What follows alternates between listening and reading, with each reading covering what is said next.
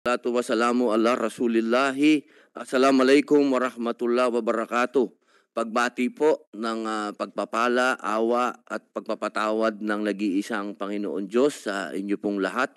Ah, ako po ay ah, nagpapasalamat sa inyong pagdalo at ah, pagpapaunlak sa aming imbitasyon. Opisyal na po nating ah, binubuksan ang ating hybrid public hearing ng Komite ng Public Information at Mass Media ukol po sa napakahalagang isyong nakapaloob sa resolusyon bilang 191 ng inyo pong lingkod patungkol po sa paglaganap ng fake news. At kasabay po nito ang pagtatalakay sa mga posibleng polisiya at pag-amyenda sa Republic Act 10175 o Cybercrime Prevention Act of 2012 at iba pang kaugnay na batas.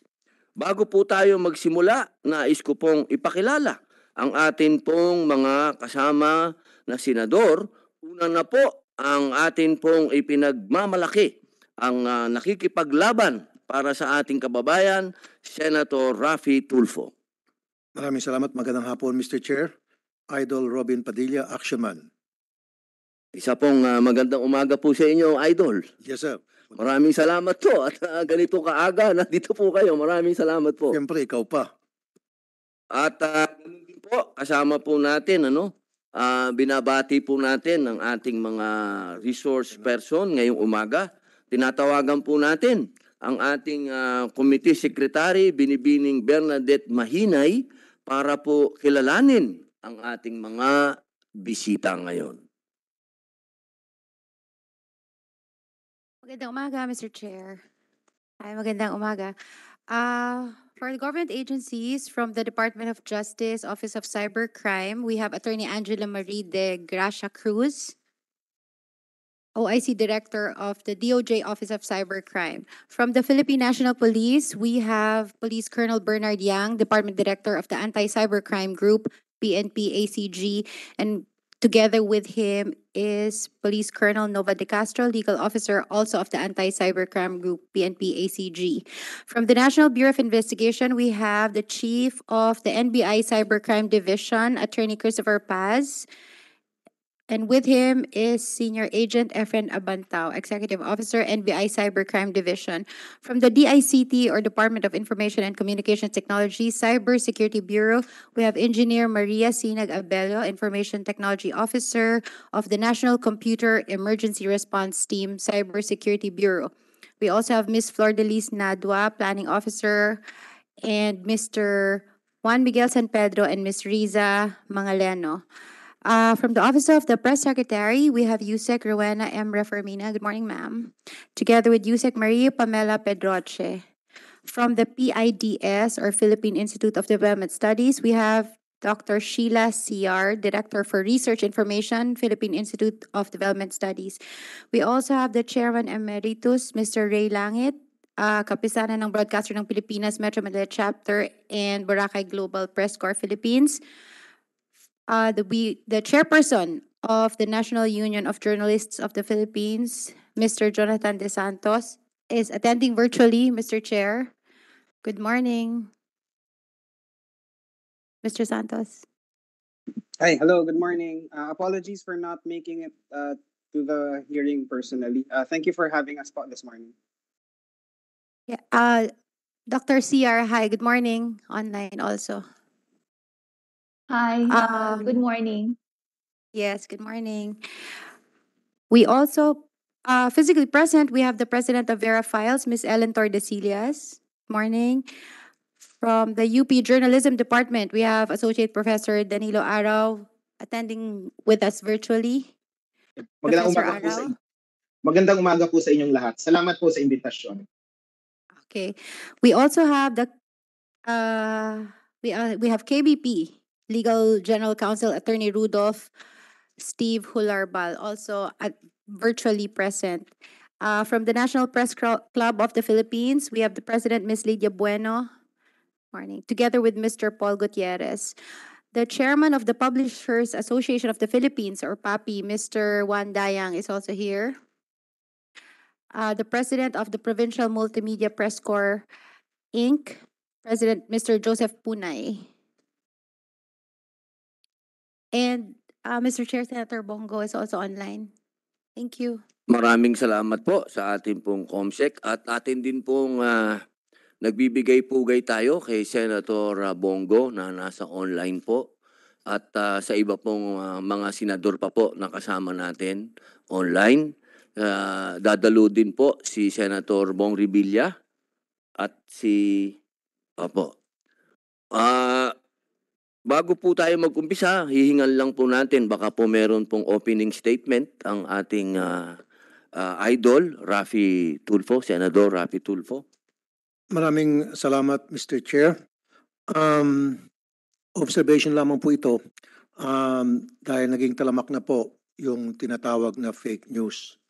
At ito pong fake news na talamak po sa ating ah, lipunan, ang target naman talaga ay mga mahihirap, especially the poorest of the poor. Why? Kasi po, hindi nila kayang bumili ng load. Ang kaya lamang nila ay yung ah, free internet yung uh, free data. Ah, so wala silang access sa iba pang social media platform. Wala silang ah, way na para mag-fact check. So kung ano po yung nakita nila doon sa free data access sa internet, pinaniwalaan na agad nila yon. Especially kasi doon po sa limited access nila, ah, nandun lang po yung title ng article at hindi nila pwedeng basahin yung loob noon or yung video. Ah, at nakakalungkot nga po, meron tayong tinatawag na Cybercrime Investigation Coordinating Council which is a very good agency under DICT. And yet, binigyan natin ng armas na para to go after cyber criminals. Pero yung ating gobyerno nagkulang at hindi po binigyan ng budget, especially sa intelligence, networking. Kaya nga po, ako po, ipinaglaban ko na mabigyan sila ng 500 million para naman magawa nilang kanilang trabaho. Masugpo po ito mga cyber criminals na nanamantala po, especially sa ating mga mahirap na kababayan na para makapagkalat ng fake news. I'll give you an example. Uh, kas- kasagsagan po ng COVID, uh, meron po yung tinatawag na yung ECQ, uh, nagpalabas po ng fake news ang mga sindikato at sinabi na yung hindi nagpapabakuna ay hindi mabibigyan ng ayuda. So sino po yung tinamaan doon? May hirap, nagsilabasan po sila by the hundreds and thousands uh, gusto na magpabakuna knowing na kapag uh, thinking na kapag hindi sila pabakuna, wala silang ayuda. So again, ang victim doon mga mahihirap kasi sila naman ang nangangailangan ng ayuda. Now second, ako po ay nagdagdag din ng budget sa NBI na worth 500 million kasi kakailanganin po ng DICT o CICC ng law enforcement arm. Pwede po magamit ang NBI sa law enforcement.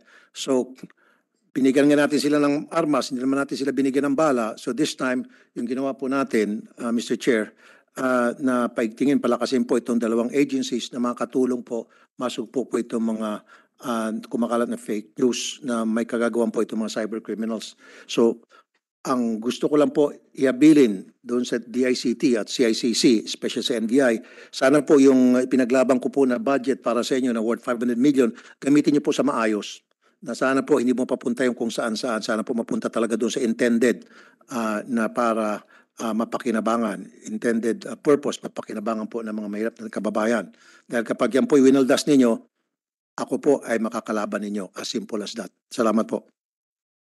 Napakagandang ah, talumpati po ng ating idol at ah, napakagandang balita po niyan na, na, na ipinaglaban niyo po yung budget ng mga kasama natin na talaga makakatulong patungkol po dito sa fake news.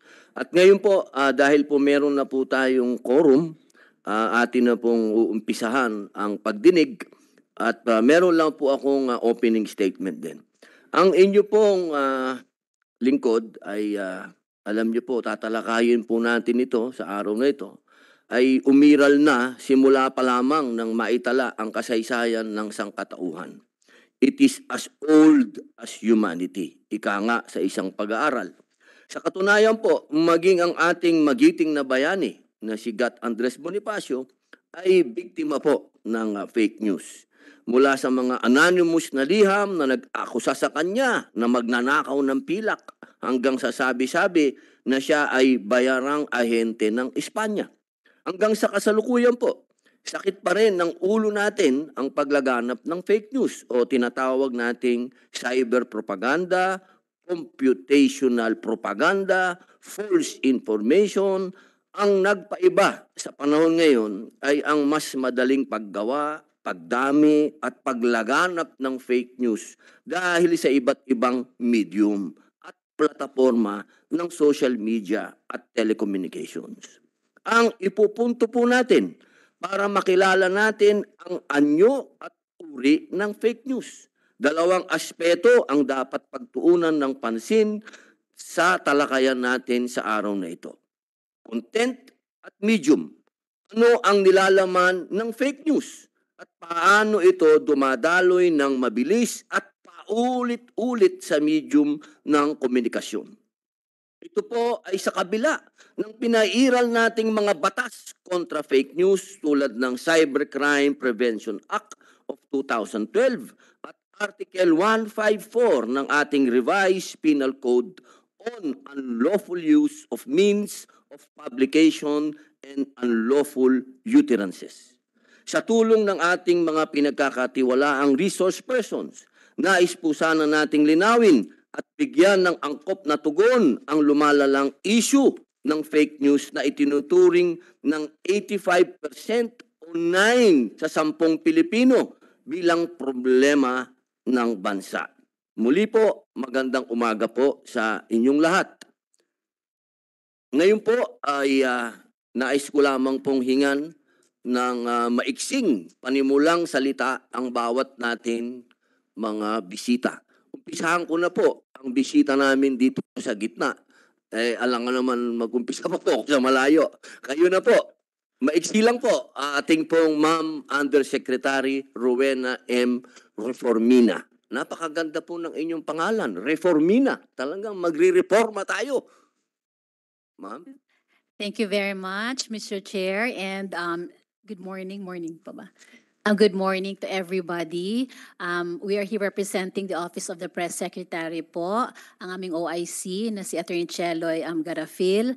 At kami po, kasama ng, of course, ng pangako ng ating Pangulo ay nasa likod ng all measures and um, all efforts to be able to uphold um, truth in the internet, in mass media, and in all platforms. So kaisa po namin kayo sa inyo pong hangarin na talaga pong sugpuin na itong paglaganap ng fake news. Yan po ang commitment ng aming ahensya, ng aming tanggapan Office of the Press Secretary. Maraming salamat po.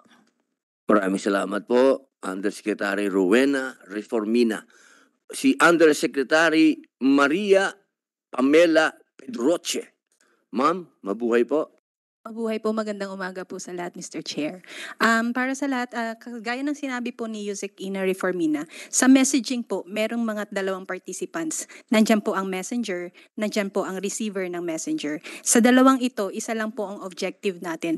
Whose purpose do we serve in, in receiving and giving away messages? So, ito po, eh, responsibilidad natin bilang mensahero at ah, taga-receive ng mensahe kung ano po ang ating objective sa pagbibigay nito at pagre-receive nito. Ito ba ay unang-una para magbigay kaalaman at ikaw ba na receiver para magkaroon ng kaalaman. So yun po sana. Sa pagsugpo po natin ng fake news, peddling, sana po ma-enhance natin at ma, ah, mas mapatibay natin ano po talaga ang purpose natin sa pagbibigay at pagre-receive ng mga mensahe. Maraming salamat po, Ma'am ah, Maria Pamela Pedroche. Unahin ko muna po si Attorney Angela Marie De Gracia Cruz, OIC Director, DOJ Office of Cybercrime. Ma'am, Good morning, Mr. Chair. Good ikaw morning. ba eh, ilang taon na? Parang ikaw ay bata pa masyado yata. Um, legal age na, sir. Legal age ha? Okay, talagang cute ka lang ma'am, ano? Opo. um,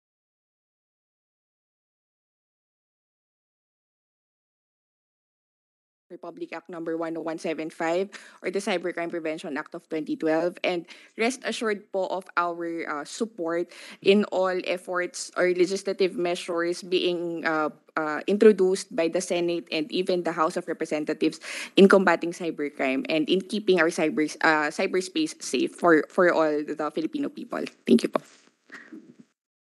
Salamat po, ma'am. Si Mr. Juan Miguel San Pedro, DICT Cybercrime Investigation and Coordinating Center. Naku, dito mo binigay yung 500 million mo, Senator Tulfo. Center pala, Mr. Chair, hindi pala council. Is that center or council? Center, okay. I stand corrected. Sorry. Uh, magandang araw po, Mr. Chair. Uh, thank you for inviting the CICC to this meeting.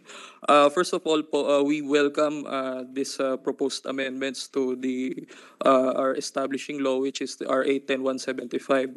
Uh, we at the CICC believe that uh, it is already high time para po amyendahan itong batas na to and uh, permit me to use the word antiquated since this law has been crafted back in 2012 and it's already 2022. Uh, t- tama lang po siguro na ito'y amyendahan na natin para to meet the demands of the times. Yun nga pong mga gadgets natin every now and then kailangan ng update. What more pa po kaya yung mga bat- saligang batas natin. So we at the CICC po uh, welcome this development and we thank you Mr. Chair for inviting us to this meeting.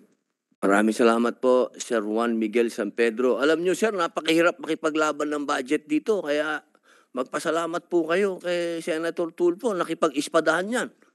Kaya eh, siguro po, samantalahin nyo na yung pagkakataon. Uh, sir, we would like to really extend our thanks for your continued support to our organization. Uh, even though we are rel- a relatively young organization, we are very grateful that despite that, yung suporta pong ipinakita nyo sa amin, eh, You're talagang todo-todo po. Pasalamat din kayo sa DNR kasi doon ko kinuha yung budget eh. Kumaltas ako, pumitas ako ng 500 million sa DNR. Karapat dapat naman talagang mapunta sa kanila. Kasi nga naman, eh, doon sa sinabi niyo nga, Mr. Chair, Cybercrime Pre- Prevention Act of 2012, kasama doon sa mandato nila, yun sa intelligence gathering, ah, sa monitoring, operations, stuff like that, at then after that, sila ay makikipag-coordinate din sa mga tago-law enforcement. Eh, paano nila magagawa yung kung wala silang intelligence fund? Akalain mo, bukod tangi, isang agency na walang intelligence fund o confidential fund, samantalang iba't ibang sangay ng ating gobyerno na hindi naman talaga kailangan ng intelligence fund, nabibigyan. Sila hindi, kaya nga pinaglaban ko. So, pasalamat din tayo sa DNR at pumayag naman kahit papaano. Although medyo masama ang loob nila, pero I have to do what I have to do, which is give you 500 million na deserving naman. Mabuhay ang DICT, mabuhay ang ah, CICC. Thank you. Thank you, sir. Again, thank you for your support. Maraming salamat po, Senator Tulfo. Akin lang pong ah, pagbibigay-pugay po natin sa atin pong isang magiting din na senador, Senator Win Gatchalian. Mabuhay po. Baka meron po kayong ah, opening ah, statement, ah, Senator Gatchalian. Isang magandang umaga po sa inyo. Apo. Ah, ah, ang kasunod naman po natin ay si Engineer Maria Sinag. Ang nakakaano to, silaw. Apelyo. Isang magandang ah, umaga po sa inyo, Engineer. Um, good morning po ah, sa inyong lahat, Senator Robin Hood Padilla, Senator Rafi Tulfo, and Senator Bin Gatchalian. We are from, uh, we're representing po the ICT Cybersecurity Bureau, um, but we are from the Critical Infrastructure Evaluation and Cybersecurity Standards Monitoring Division. But um, with that, uh, nandito rin po kami para magbigay po ng mga um, konting sus- ano, suggestions on how we can resist or um, how can we spot fake news as well as how to monitor them po. So yun po. Salamat po. Ang kasunod naman po natin is si Miss Flor Delis Nadwa. Masyadong foreigner ang mga pangalan ni ma'am. Planning Officer 3, DICT Cybersecurity Bureau. Magandang umaga po. Magandang umaga, Mr. Chair, at sa ating mga senador, Senator Tulfo and Senator Win Gatchalian. Uh, we are from the Cybersecurity Bureau ng Department of Information and Communications Technology at ang National Computer Emergency Response Team po natin o yung tinatawag nating NCERT or CERT-PH ay nakalagak po dito sa Cybersecurity Bureau. So uh, pagpasensyahan niyo na po, wala dito ang aming chief for NCERT kasi kasalukuyan po day one ngayon ng ating National Annual Cyber Drill. Ah, ito po yung ah, parang exercise siya na um, yung iba't ibang national po ito. So hanggang um, kaduluduluhan po hanggang Mindanao, meron po tayong participants. Ito po yung simulation, Mr. Chair, ng isang cyber attack. So ah, ang ating ah, ang ating insert ay nagbibigay ng situationer o yung tinatawag nating mga injects. At um, dito try po yan na na sagutin at remed- um, ga- gagawin ng ating mga participants ang kung anong pwedeng gawin para ma-remedyohan o ma, um, rumisponde sa isang cyber attack tulad ng dinidescribe ng binibigay na injects ng ating insert. So um, today po we are here to support uh, the uh, the resolution that we have uh, the uh, the resolution po of the committee. And also po uh, magpapasalamat din po kami lalo na po kay Senator Tulfo for the support po sa aming budget. At uh, marami pa po kasing kailangan gawin sa cybersecurity para uh, tuluyan po natin tuluyan tayong maging safe and secure. Hindi lang po ang ating mga ahensya ang ating mga critical information infrastructure kundi pati po ang ating mga uh, lahat po ng Filipino na gumagamit ng internet maraming salamat po Maraming salamat po, ma'am. Ah, ang ating naman pong ah, Police Colonel Nova de Castro. Ma'am, magandang umaga po. Good morning, Mr. Chair, and to the other members of the committee. In behalf of our Chief PNP, Police General Rodolfo S. Azurin Jr., we would like to thank the committee for inviting the PNP Anti-Cybercrime Group to this meeting. The PNP ACG uh, supports the proposal to amend Article 154 of the RPC to address fake news, sir. Maraming salamat po, ma'am. Police Colonel Bernard Yang ng PNP Anti-Cybercrime Group. Yes, sir. Good morning to everyone, to the honorable chairperson and the other members of the committee. Uh, of course, in behalf of our director, Police uh, Brigadier General Joel Doria, we'd like to uh, thank you, sir, for inviting us here to be one of your resource uh, person. And of course, uh, the PNP ACG will uh, support whatever uh, legislative uh, measures that this committee will be proposing. Thank you, sir.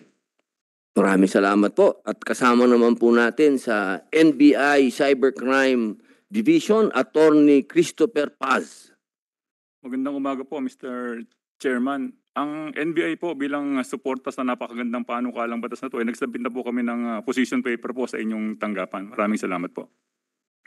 Maraming salamat po. Senior Agent Efren Abantao, Executive Officer po ng NBI Cybercrime Division. Ah, magandang umaga din po, ah, Mr. Chairman.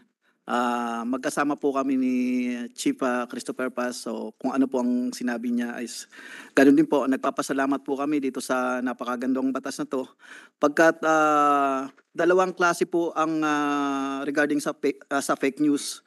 Ang isa po is ah, yung libelous. Paano po yung hindi libelous? Paano natin siya kakasuhan? So, di, ito po, ang nabatas na, na pinopropose po ninyo, makakatulong po sa atin to para dun sa mga fake news na hindi libelous para makasuhan na po natin sila. Maraming salamat po. Dito naman po sa ating kaliwa, kapag ka ito ang kasangga mo, kasangga mo ang langit, Mr. Ray Langit. Magandang umaga po sa inyo. Yung magandang umaga po, Mr. Chair, yung Senator Robin Hood Padilla, kina Senator Rapi Tulfo po, at uh, kay Senator Win Gatchalian. It's a privilege po na ako po ay uh, maanyayahan bilang isang broadcast journalists at sana po uh, kahit naman paano yung makapag-contribute po kami dito sa usaping ito sapagkat hindi naman po talaga kaila sa marami na ang disinformation, ang uh, fake information at saka fake news ay uh, isang very challenging sa panahong ito. Na kami po mga medyo conservative na sinaunang mga media ay talagang protektado po namin. Eh. Hindi namin kinokompromise po ang accuracy ng balita sa scoop na balita. Kahit na ito po ay uh, lalong pinalalakas ni Marites at ni Maricon. Salamat po. Magsto, ayoko pang magtanong eh, pero pwede bang tanungin ko na po, sino ba si Marites at si Maricon? Si Marites, naririnig ko na, chismosa yun. Sino po si Maricon? Ito po ang uh, rara girl po ni Marites. Ah, magpartner sila. Opo. Ay, ayun. Okay, salamat po. Salamat. At ito naman po, ito po ang ating ah, ginagalang ng matagal din po sa media, si Miss Ellen Tordesillas. Presidente po siya ng Vera Files. Magandang umaga po. Magandang umaga po, ah, Chairman ah, Senator Padilla, ah, Senator Rafi Tulfo at saka Senator uh, Win Gatchalian, saka kay Senator Bongo po na online siya ngayon. Okay. Ah, may pinrepare ako na konting ano, pwedeng, pwede ko na. Sige, okay. Um, pakilala, ah, I'm Ellen Tordesillas, no? Ah, kasama sa Vera Files ako. Ang Vera Files ay isang non-stock, non-profit media organization naka-register po kami sa Securities and Exchange Commission. Uh, tinatag po namin ito noong May 2008. Anim kaming uh, mga veteranong uh, reporters ang nagtatag nito. Ang layunin namin sa pagbuo ng Vera Files ay para makatulong sa pagsusulong ng kahusay, kahusayan sa journalism o pamamahayag para magampanan namin ang maayos ng aming trabaho para magbigay ng totoo at makabuluhang impormasyon sa taong bayan. Ang fact-checking project ng Vera Files ay nagsimula noong 2016, panahon ng election campaign. Kasi alam naman natin pag kampanya, di ba, nagkalat na yung ah, mga well, mga hindi totoo at mga ah, mga promisa ng promisa ng mga kandidato na hindi naman talaga nakaka ano sa katotoh kalatag sa katotohanan.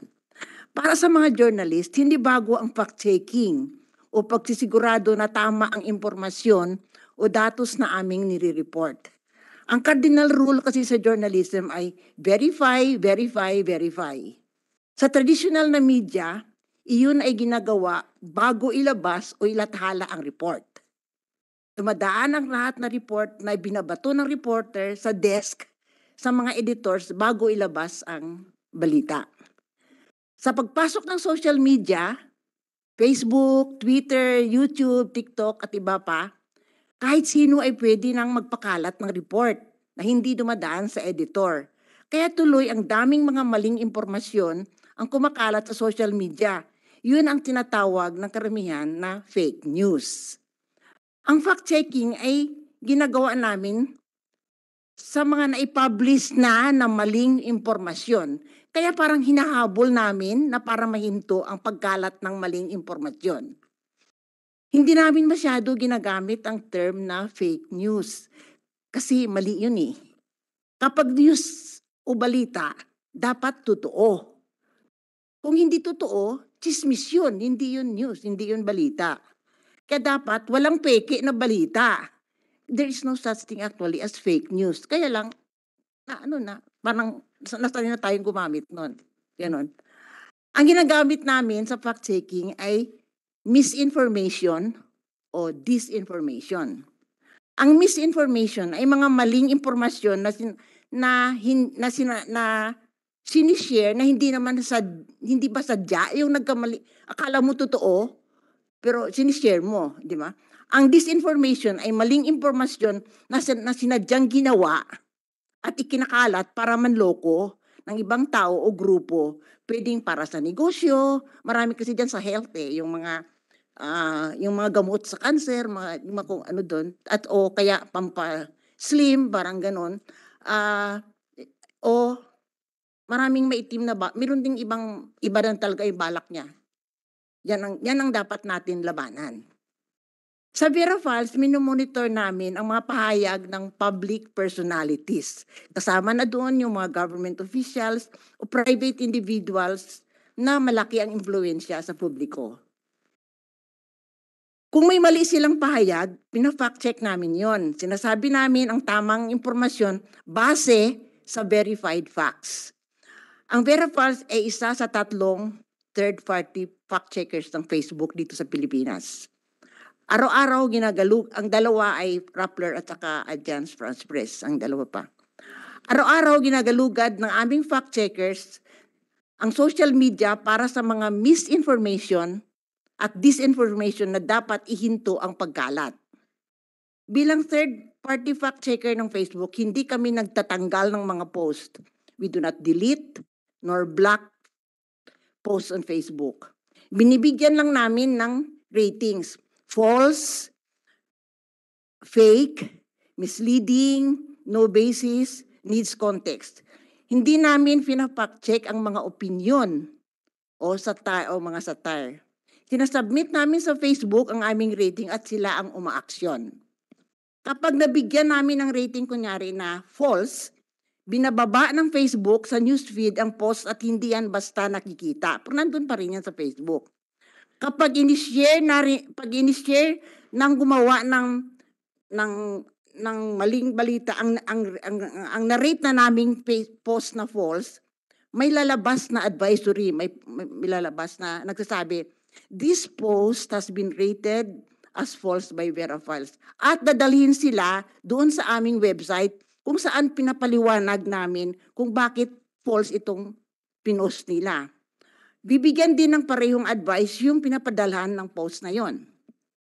Like, isang, isang example, isang linggo pagkatapos ng eleksyon ng Mayo, na fact check namin ang isang Facebook post na sinasabi daw na si Senator Padilla daw gagawa siya ng batas na magiging legal ang bawat lalaki daw, lima dapat ang magiging asawa. Di ba? Yun. So, oh, yan. Oh. Oh, bi- binigyan namin ito ng fake na, na rating. Yun. Si Senator uh, Risa Ontiveros, paboritong target siya ng disinformation agents. May mga post na nagsisigaw na all caps pa yan, may, may ano pa, may exclamation point pa. Na-involved daw siya sa 15 billion na anomalya sa PhilHealth. Hindi rin ito totoo. Hindi rin ito totoo. Kung paulit-ulit ang may-ari ng, face, ng, ng Facebook account na yan na mag-post ng mga false na impormasyon, may sanctions na ginagawa ang Facebook katulad ng pagtanggal ng kakayahan nilang kumita ng kanilang post. Kasi bawat click kasi yan may ano eh, may bayad. So ma- pagka nasa baba ka na hindi ka basta-basta nakikita, malaki ang bawas ng iyong kikitain. Ganon. Mahalaga ang tamang impormasyon sa araw-araw natin na pagdedesisyon.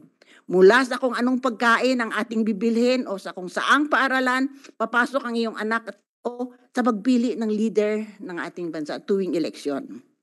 Ang fact-checking ay tinatawag naming accountability journalism. Empowered with correct information, we hold into account public officials so that we can have a government responsive to the citizens' needs. Sa ganung paraan, napapatibay natin ang ating demokrasya. Kasi with an informed citizenry, we can truly have a government of the people by the people and for the people. Yung imbitasyon sa akin, hiningi ang kami ng rekomendasyon para sa dito sa um, tu- 2012 Cybercrime uh, Act, di ba? Now, we are glad that this law is being reviewed. Now, we would like to reiterate, we would like this opportunity to reiterate what we have been asking leg- legislators for many, many years please decriminalize libel. Ang libel kasi natin na tumataas na ang mga parusa under the 2012 cybercrime law kasi tumaas yung parusa ng ng ng libel. Ay ito ay balakid sa malayang pamamahayag at pagpatibay ng ating demokrasya. So, maraming salamat. Maraming salamat po, Ma- Ma'am Ellen Tordesillas. Sa atin naman pong ah, mga ni Marcelo Del Pilar. Sa ating pong National Press Club of the Philippines, Miss Lydia Bueno. Magandang umaga po sa lahat. Kami po sa National Press Club of the Philippines ay nagpapasalamat sa ah, imbitasyon na maging kabahagi ng public hearing na ito para sa ating pakikipaglaban sa fake news. Ah, kami po sa National Press Club, kasama ko po ang Secretary ah, Paul Gutierrez, ay ah, kaisa nyo sa pag-amyenda dito sa ating Republic Act 10175 ah, para naman po tayo ay makaagapay sa makabagong panahon At ah, umaasa po kami na sa pamamagitan po ng mga pagdinig na ito dito sa Senado ay mapoprotektahan din po yung kapakanan at karapatan ng mga kapatid natin sa pamamahayag. Maraming salamat po. Maraming salamat po, El Presidente. Sa atin naman pong ah, Secretary. Si ano lang, Boss Jan. Ah, okay po. Sa ating pong presidente po ng Provincial Multimedia Press Corps, Mr. Chairman, ang ating pong chairman, Mr. Johnny Dayang. Mabuhay po, sir. Good morning, uh, Mr. Chairman, Senator Padilla. Uh, good morning, Senator uh, Tolpo and Senator uh, Gatchalian. My colleagues, uh, ladies and gentlemen, uh, I am not uh, the chairman of the uh, mul- multimedia Chairman po ng Publishers Association of the Philippines. Yan, opo. uh, perhaps one of the oldest uh, organization in media organization in the country, not uh, withstanding that I'm also perhaps the oldest here. well, anyway, uh, thank you very much, uh, Mr. Chairman, for including the Publishers Association of the Philippines uh, in this very important uh, hearing. Uh, briefly, uh, I will be submitting a brief uh, position paper uh, which underscore the urgency of decriminalizing uh, libel, but uh, also uh, suggesting that uh, if we cannot control fake news or disinformation, then I think the government should put up more uh, uh, capability, stronger capability to counteract or confront the problems of uh, uh, posed by uh, fake news or disinformation.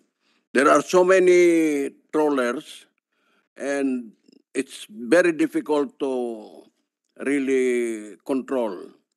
So I think the government should look uh, into the possibility of coming out with a stronger uh, media organization or some mechanism that could control or or uh, uh, minimize the impact because fake news can dis- de- destabilize even uh, create more pernicious uh, problems to our society. Uh, so that's all. Uh, thank you very much, uh, Mr. Uh, Chairman. And I'll be submitting uh, our position paper on the issue of uh, uh, improving uh, 10 uh, 10175. Thank you very much. Maraming salamat po, ah, Chairman. Ah, ah, ang sabi na po natin kanina si ah, Mr. Joseph Punay. Good morning, Mr. Chair. Good morning, Senator Tolfo and uh, Senator Gatchalian. Likewise, Senator Bongo. Kami sa organization, nagpapasalamat po sa inyo for inviting us here. And buong puso kaming buong organization na sumusuporta sa Republic Act 10175 in uh, revisiting this uh, law. Yes. Thank you, Your Honor. Maraming salamat po. Sa online naman po, kasama po natin si Dr. Sheila Siar of PIDS. Thank you po. Magandang umaga, ah, Senator Padilla at sa inyong lahat. So I'm I am representing the Philippine Institute for Development Studies or PIDS. So sa mga hindi po nakakakilala sa aming ahensya, ang PIDS po ay attached agency ng NEDA at ang aming pong mandato ay ah, magsagawa ng policy research upang makatulong sa ating mga mambabatas na gumawa ng mga polisiya na base sa masusing pag-aaral, base po sa datos at evidence. No? Um, Talamak na po talaga ang production at spread ng false information. Kaya naniniwala po kami sa kahalagahan, ah, sir, ng inyong ah, panukalang batas. Ang misinformation at ah, disinformation ay ah, societal issues na nangangailangan ng ah, whole of society approach. Ah, sapagkat lahat po ng sectors ng ating society, hindi lang po ang government, kundi pati na rin po ang academia, private sector, civil society, kasama na ang media ay may mahalagang ah, papel na ginagampanan upang masugpo po ang paglaganap ng ah, false information. So uh, just a while ago, uh, Miss Ellen Tordesillas of uh, Vera Files has distinguished between um, misinformation and disinformation. So nag-submit na po kami, sir, ng aming position paper last Friday and I'd be happy to um, uh, discuss uh, uh, our position on on the matter later on pag po uh, um, pinag-uusapan natin po yung mga detalye na. Thank you po, sir. Maraming salamat po, Dr. Sheila. Ah, atin naman pong tatawagin si Mr. Jonathan Santos ng NUJP. Ay, magandang umaga po, Mr. Chair, at sa Senate Committee on Public Information and Mass Media. Ah, bali nagpasa din po kami no ng position paper tungkol sa usapin ng fake news. Ah, pero gusto ko lang po sabihin na kasama niyo po kami sa pagkilala at sa pagharap sa problema ng fake news, ah, ng disinformation at ng misinformation. May kaunti lang po kaming ah, agam-agam no ah, sa pag sa pag-address ng fake news ah, through legislation dahil ah, nakita din naman po natin ano, ah, may mga batas tulad ng libel ah, na, at yung Bayanihan to Heal as One Act na nagamit po unfortunately ah, sa ah, pagpapatahimik ng ilang mga ah, mamamahayag at ah, ilang mga tao on social media no. Ah, nasa public eh nasa ano po 'yan? Ah, nasa position paper natin. Pero ah, umaasa po kami at nagtitiwala po kami na ang ah, committee na to ay magtutulak ng mga ah, pag-aamyenda sa Cybercrime Prevention Act na kikilala at dedepensa sa kalayaan ng pamamahayag at sa kalayaan ah, sa pananalita. Maraming salamat po.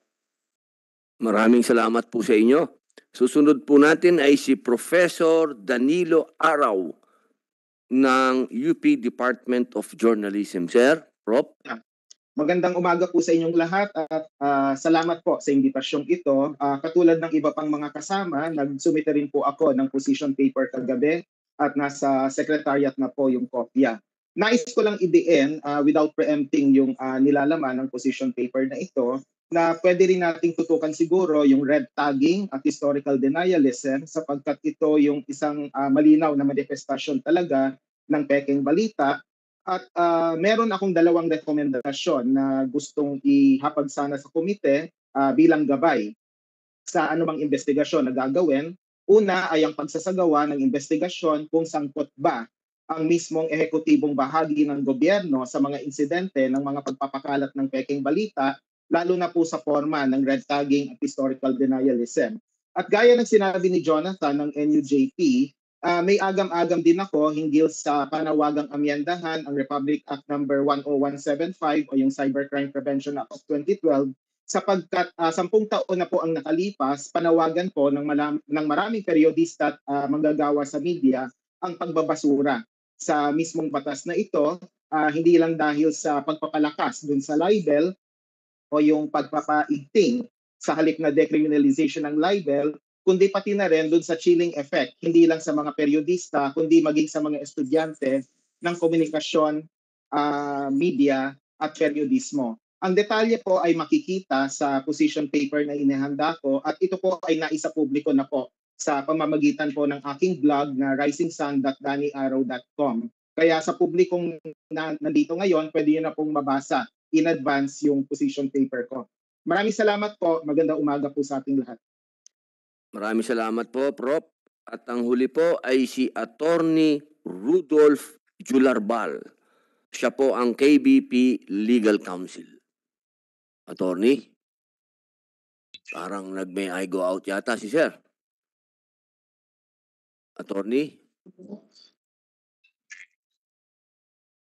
Magandang umaga po. Magandang umaga.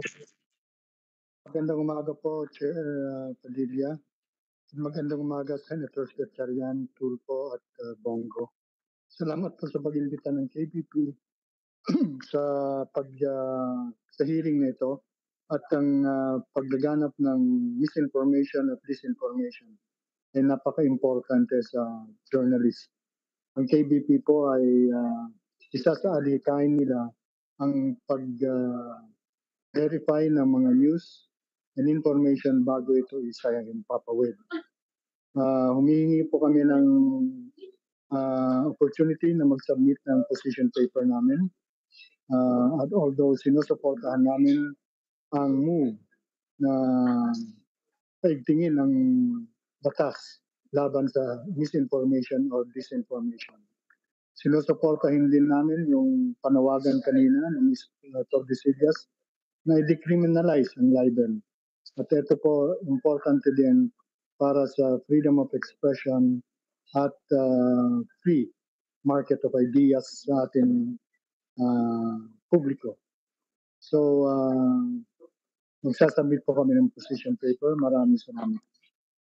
Maraming salamat po, attorney. At ah, ngayon po nakilala na po natin at nagbigay na po lahat ng paunang salita ang ating ah, mga bisita. Ah, bubuksan na po natin ang ating ah, pagdinig sa mga katanungan ng ating mga magigiting at matatalinong ah, senador. Unahin na po natin si Senator Raffy Tulfo. Um, meron ako isang statement at the same time meron din po akong katanungan. Dalawa lang po. Una, doon sa decriminalizing libel. Yan po ay naging campaign promise ko and I will walk the talk. Kaya lang, pinag-aralan po ngayon ng, ating, ng aking Legis Group ah, dahil ah, paano naman po yung mga walang accountability, yung mga taong ah, gusto ko lang maging media and then magbubukas po siya ng channel sa internet, banat siya ng banat, lahat ng kasinungalingan titira siya, yun dapat ma-exclude. Pero yung mga traditional media, yung mga talagang totoong journalist, katulad niyo po sa Vera Piles, si Mr. Ray Langit at iba pa, eh yun po talaga dapat hindi ma hindi dapat masampa ay ma-decriminalize po dapat yung libel because of them. Because uh, I, for one, uh, naging uh, problema ko na rin yan na pa, hindi ko magawa yung gusto kong gawin, ma-expose yung gusto kong ma-expose dahil doon sa pag-file sa akin ng libel at nagkakaroon ako ng takot so hindi ko na mapursige yung gusto kong mga bagay-bagay na para isulat sa kalaman ng mga tao. Na having said that, uh, I will still go for decriminalizing libel pero siguro on certain groups ah, pag sa mga traditional media, yung mga may accountability. Kasi alam ko naman po, halimbawa, ah, isang dyaryo, example Abante, meron naman po dyan tinatawag na desk editor, chief editor na nasa Sara, Philippine Star, Inquirer, ah, TV, radio ah, stations. Meron po silang mga editors na sinasara po yung mga lumalabas na articles o, o videos. Unlike po sinasabi ko, isang Juan de la Cruz na loko-loko, mag-open po siya ng channel niya at yung channel niya i-open niya para mag-attack and collect. Marami po dyan nangyari ngayon dyan po sa social media, yung mga tinatawag na attackers, collectors at the same time, if you will, na magbubukas ng channel and then magpapanggap na siya isang journalist, walang ginawa, maghapon magdamag, tumira ng tumira ng mga politiko hanggang sa yung politiko tinitira niya, gumipap dahil, dahil ay nang mapapatuloy yung masakit na kasinungalingan, magbibigay ng pera sa kanya o kung kanino man. So those people should be exempted dito sa decriminalizing libel. Sana si- sila dapat ay kasama, ay, ay kasuhan pa rin ng ah, libel na makulong. Pero yung mga traditional media, ayoko. Ayoko silang, ah, ah, well, what I mean, ah, dahil sa kanila dapat ma-decriminalize yung libel. Is that good enough for you, ah, Ma'am Ellen? And ah, Sir, Sir Ray? Pag sabi mo kasing journalist, yung mga tao na basta lang nagpo-post, hindi ko kinoconsider yan journalist eh. Kasi mean, blogging does not, posting in social media does not make one a journalist. Pe- Pero marami na po nangyayari, ma'am, na dahil matagal sila nagbablog and then ah, meron po silang uh, nagbablock time halimbawa sila sa isang radio station and then they consider themselves as journalists. And then para sa kanila may karapatan na silang bumanat-bumanat at kapag sinampan silang libel sabi nila eh media ako free speech. So would you consider that free speech? Samantalang eh wala naman siyang accountability because block timer siya. Wala po pwedeng pumigil sa kanya sa kung ano man sasabihin niya because nagbabayad siya sa radio station halimbawa. So she or he can spread lies as much as she, he or she wants. So yun po yung mga pinag-aaralan namin na yun dapat mga tao na pwede pa rin ah, ma- makasuhan ng libel. Pero yung mga katulad po ninyo, yung mga nasa Diario, Abante, People's Tonight, GMA7, ABS-CBN, Rappler, ah, Inquirer, Philippine Star, yun po dapat ang sila ang mga dapat ang dahilan kung bakit ma-decriminalize ang libel para magawa nila ang trabaho nila. Yun po yung pinopoint out ko. Oh, kasi ah, ano ko lang kasi pagka sinasabi mo kasing yung protection sa journalist, hindi naman yan da, hindi naman yan kasama para sa lahat na nagpo-post, di ba? Kasi sinasabi ko nga, just because you post something, i-publish something sa social media, journalist ka na, Hi- ako hindi ako nag-agree doon. Kasi Tama. sa, sa uh, to be called a journalist, you know, uh, one should adhere to the core values of journalism, which are, one, accuracy. Dapat ang nire-report mo totoo. Di ba? Hindi ka dapat, hindi ka, ang journalist hindi yan nag, hindi yan gumagawa ng fiction, di ba? Fiction Right. writer ka, di ba? Ano, so dapat totoo lang. Tapos number two is fairness. Dapat yung nire-report ng journalist, fair ka, di ba? Yung, dapat yung, yung fairness is fair ka sa lahat-lahat ng partido kahit na lahat na involved doon sa balita sa balita. Yan po yung true journalist. Pero yung pseudo journalist po ang ibig sabihin na hindi dapat sila ah, masama po dun sa saklaw na ah, decriminalizing libel. Ah, dapat sila kasama pa rin po doon sa masasampa ng ah, cyber libel at dapat makulong dahil sa kanilang pagiging padalos-dalos. So sinadya nila talagang sumulat ah, ng isang article para manakit ng kapwa ah, at worse, yung iba sa kanila hindi lang manakit ng kapwa kundi para perahan yung kanilang pagpo-post, pagbablog at pagpapanggap bilang isang journalist. Yun po yung dapat na para sa akin dapat ah, makulong. Ah, masampahan muna ng cyber libels, dadaan sa proseso at makulong dahil walang ginawa kundi manakit ng kapwa. Di ba may sapat tayong batas para sa mga ganyan? Di ba? Sa, sa ngayon po kasi, what they do is sasampa sila ng cyber libel. Sasampa sila, sasabihin nila na, well, I'm a journalist, dapat meron akong kasama ko doon sinatawag na free speech. So what, ang sa akin po dapat ma-differentiate. Yung mga true journalists, wala po akong problema doon. Kasama na po kayo doon. Lahat ng mga nasa dyaryo, ah, legitimate na mga dyaryo, TV, radio, okay po ako dyan. Kasi nga po, sinasabi ko, may accountability because their editors, their, their supervisors, their chief editors, eh, will be accountable also. So, uh, there's that uh, uh, system na checking na, teka muna, mali itong mga sinasabi mo, na-check na namin, hindi dapat po ito ilabas o ipi, uh, babawasan natin mga pinagsusulat mo rito dahil hindi tama. Yun po yung sinasabi ko. Whereas, pag doon sa mga nagpapanggap na journalist sa, sa social media, eh, wala pong nag-check sa kanila, wala silang accountability, they can say whatever they want to say or they, uh, and, and yung pala nakakasakit na po sila sa tao. Yun po yung ibig sabihin. Yeah, Mr. Chairman, with all due respect, uh, Sige po. napakaganda po ng binuksan yung yan. Uh, Senator Rafi, at uh, gusto ko lang pong maidagdag, ang uh, isa pong uh, problema natin ngayon, kaya nagkakaroon po tayo ng ilang mga allegedly journalists na madaling uh, gamitin po yung shooting from the hips, kung tawagin po, bara-bara, kapag wala pong sanction o organization in the likes of KBP, kapisanan ng mga broadcaster ng Pilipinas. Dito, pagka nagkamali ka, meron pong penalty, may sanction, at meron pagkakataong mawala ka sa iyong field, sa iyong profession. Nariyan po ang uh, National Press Club of the Philippines. Ganyan din po ang uh, matakaran ng uh, Publishers Association of the Philippines at ilang pang mga mainstream organizations sa media. Ang malungkot po rito, medyo may mga nagsulputan po. Yung tama po yung observation po ninyo na wala pong organization, formal organization na magbabantay sa kanila. Dahil kung may back-checking po, ever since, ang mga organization na ito ay may back-checking na po. Sinimulan na po ng mga malalaking organizations na bantayan ang kanilang mga miyembro. Alam po ninyo, medyo throwback lang po ng konti, makakontribute. Ang inyong abang likod, once upon a time, ay uh, naging miyembro po ng uh, first batch, first generation po ng Radio Patrol ng ABS-CBN. Kami po ay nagtutungo sa National Library o mag-check para mag-research.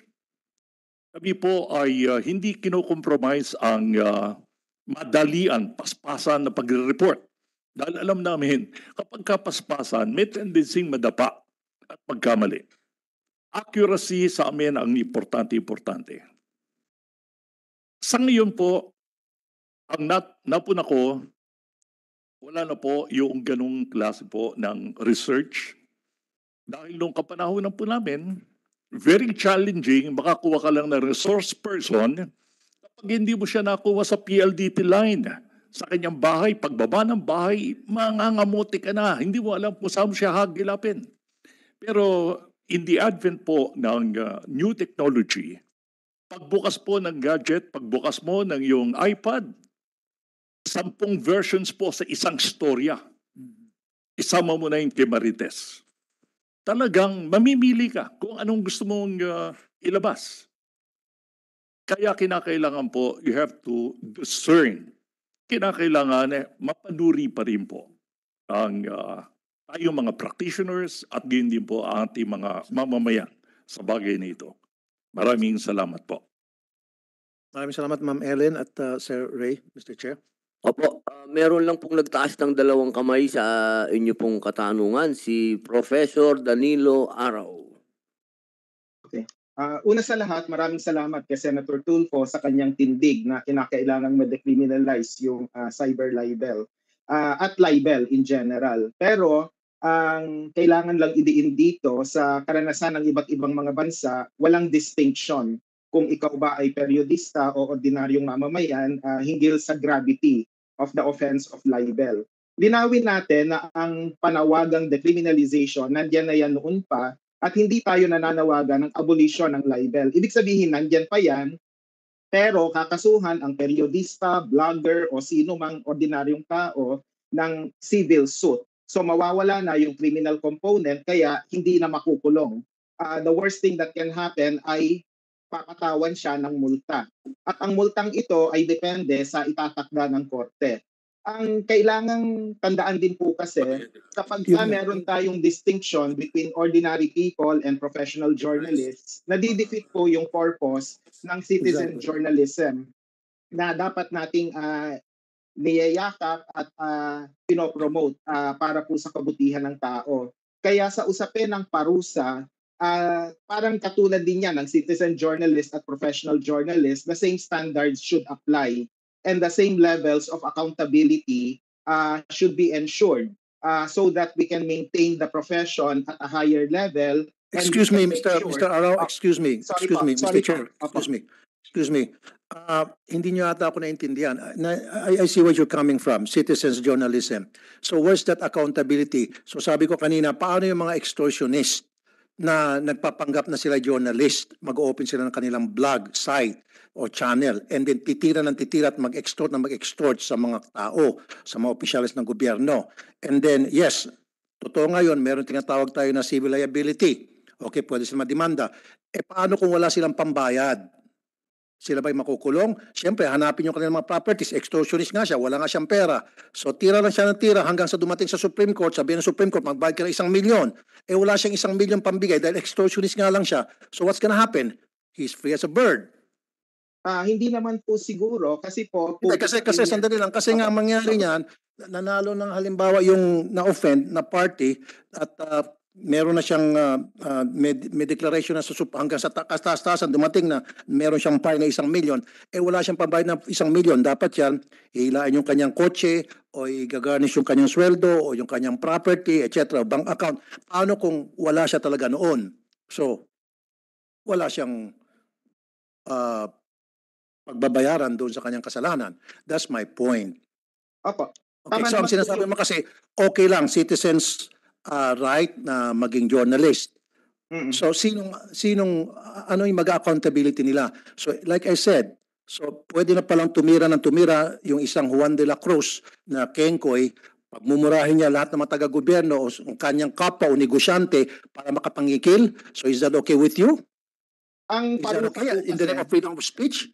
Hindi nga, kasi Okay. marami dyan sa social media. Ako mismo naging biktima niyan. Pinagmumura ng hindi makain ng aso yung kapwa niya dahil, dahil just because hindi niya gusto yung muka, dahil hindi niya gusto yung pagkatao, hindi niya gusto yung kulay, hindi niya gusto yung gender, pagmumurahin niya, pagsasalita niya kasinungalingan, marites siya, maricon, kung ano pa siya sabi, it's okay with you, huwag siya makakasuhan ng libel, civil case lang.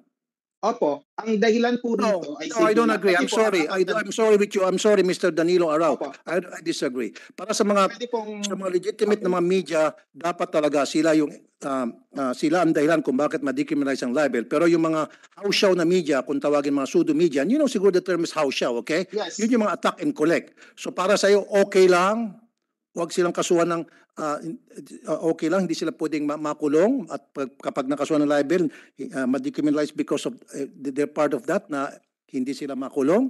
So, Ang right now, marami natutuwa itong pagsasalita mo yan. Marami pumapalakpak na mga extortionist. Salamat, Mr. Arao. Mabuhay ka, Mr. Arao. So kami mga extortionist, kami ng mga walang hiya, eh okay na, free, free as a bird na kami. Pwede na kami tumira ng tumira. Ah, hindi po sila magiging masaya kung marirealize nila na yung accountability, hindi lang yan legal, kundi extra legal. In the context Kaya of nga, kaya nga Mr. Rao nga, ang sinasabi ko nga, sige, kasuhan sila.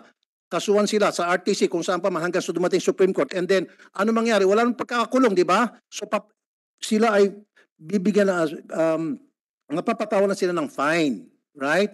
Sabi natin, kahit pa isang bilyon na fine o one million, wala silang pambayad dahil extortionist nga sila. So ano Ah, mangyari? Sa baliwala lang yung pagkakaso sa kanila because sasabihin nila, Your Honor, wala akong bahay, wala akong kotse, wala akong bank account, walang, wala akong trabaho dahil extortionist nga ako. So, libre lang sila. ang mga ganitong klase sa mga nasa, extortion, nasa TV network, nasa dyaryo, na legit na dyaryo, radio, may accountability, pwede silang sanggain ng kanilang radio station.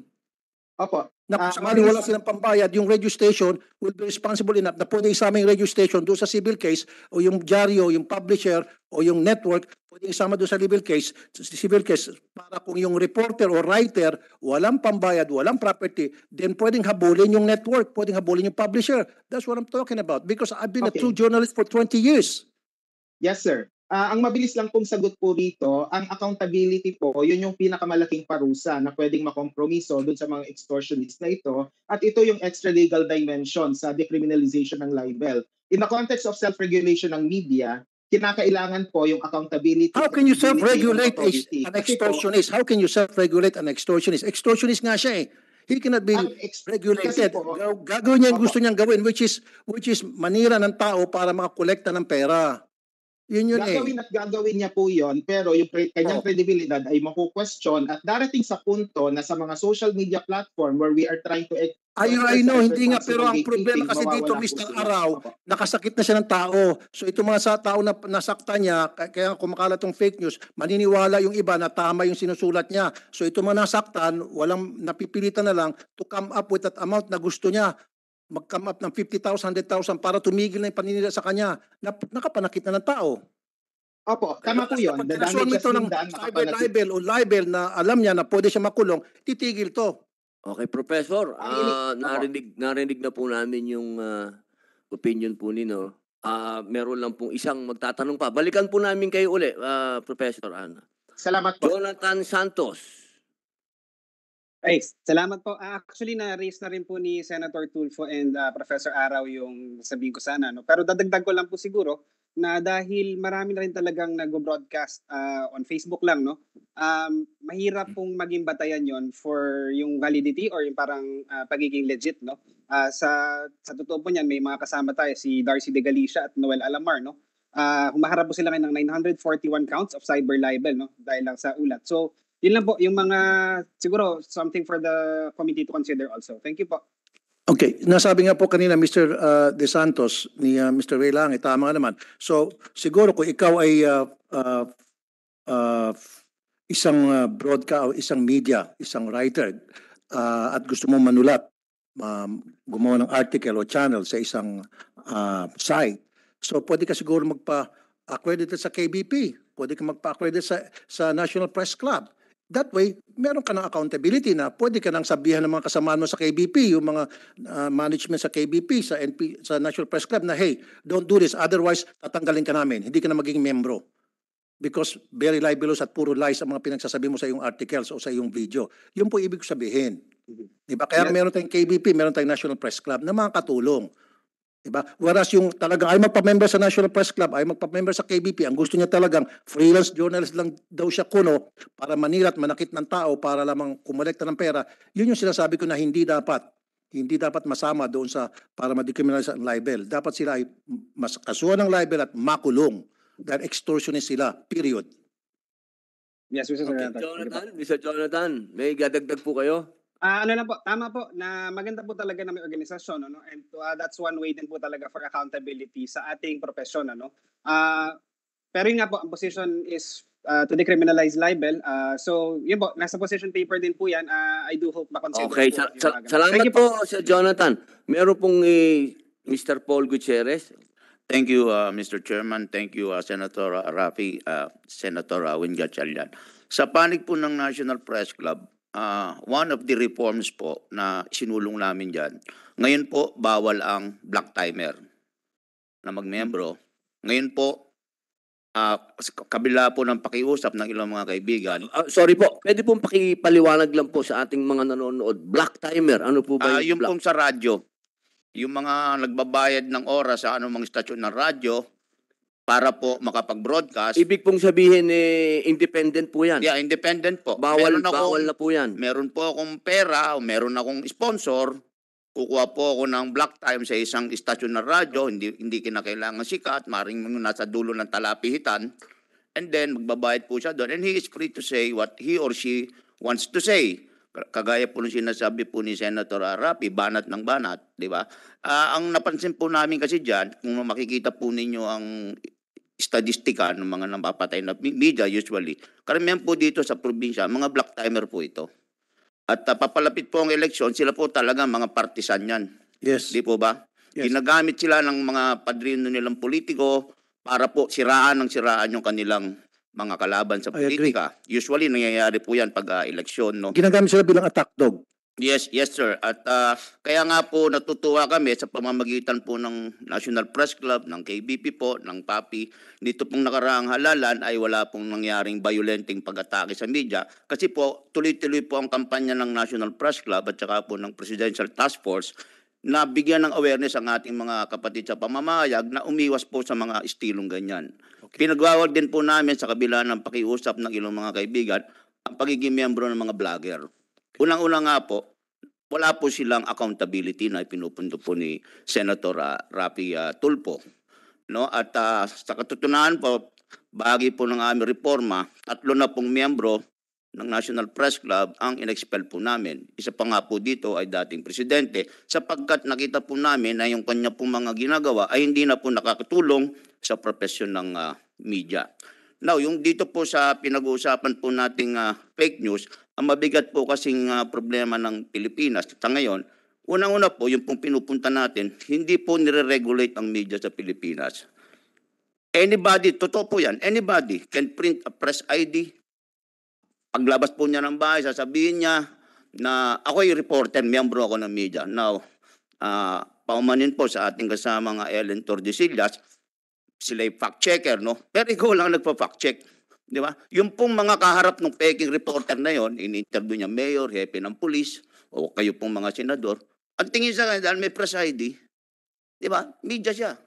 Wala po regulasyon ng media sa Pilipinas. Yan po ang isang problema po natin na dapat po nating ah, kilalanin. Ano? Kaya nga po, on the part po ng mga responsable at lehitimong media organization sa Pilipinas, katulad po ng KBP, National Press Club, ng PAPI po, ay ang ginagawa po namin, talagang kailangan lang po dito ay self-regulation. Yun lang po sa ngayon ang magagawa po natin dahil hindi po kagaya sa ibang bansa, ah particular po sa Singapore. Pagka ikaw, ikaw po ay reporter sa Singapore, ang trabaho mo lang reporter. Hindi, parang engineer lang, ganon.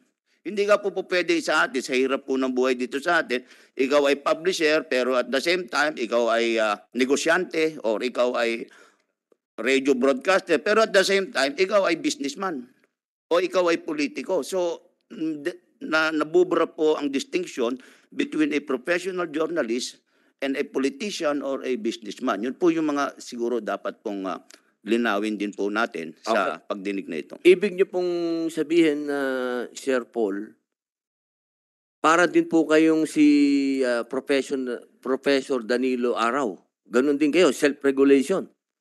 Oh, self-regulation po. In fact, si Professor Ara po, dati po kasama namin sa Presidential Task Force on uh, Media Security. Ano?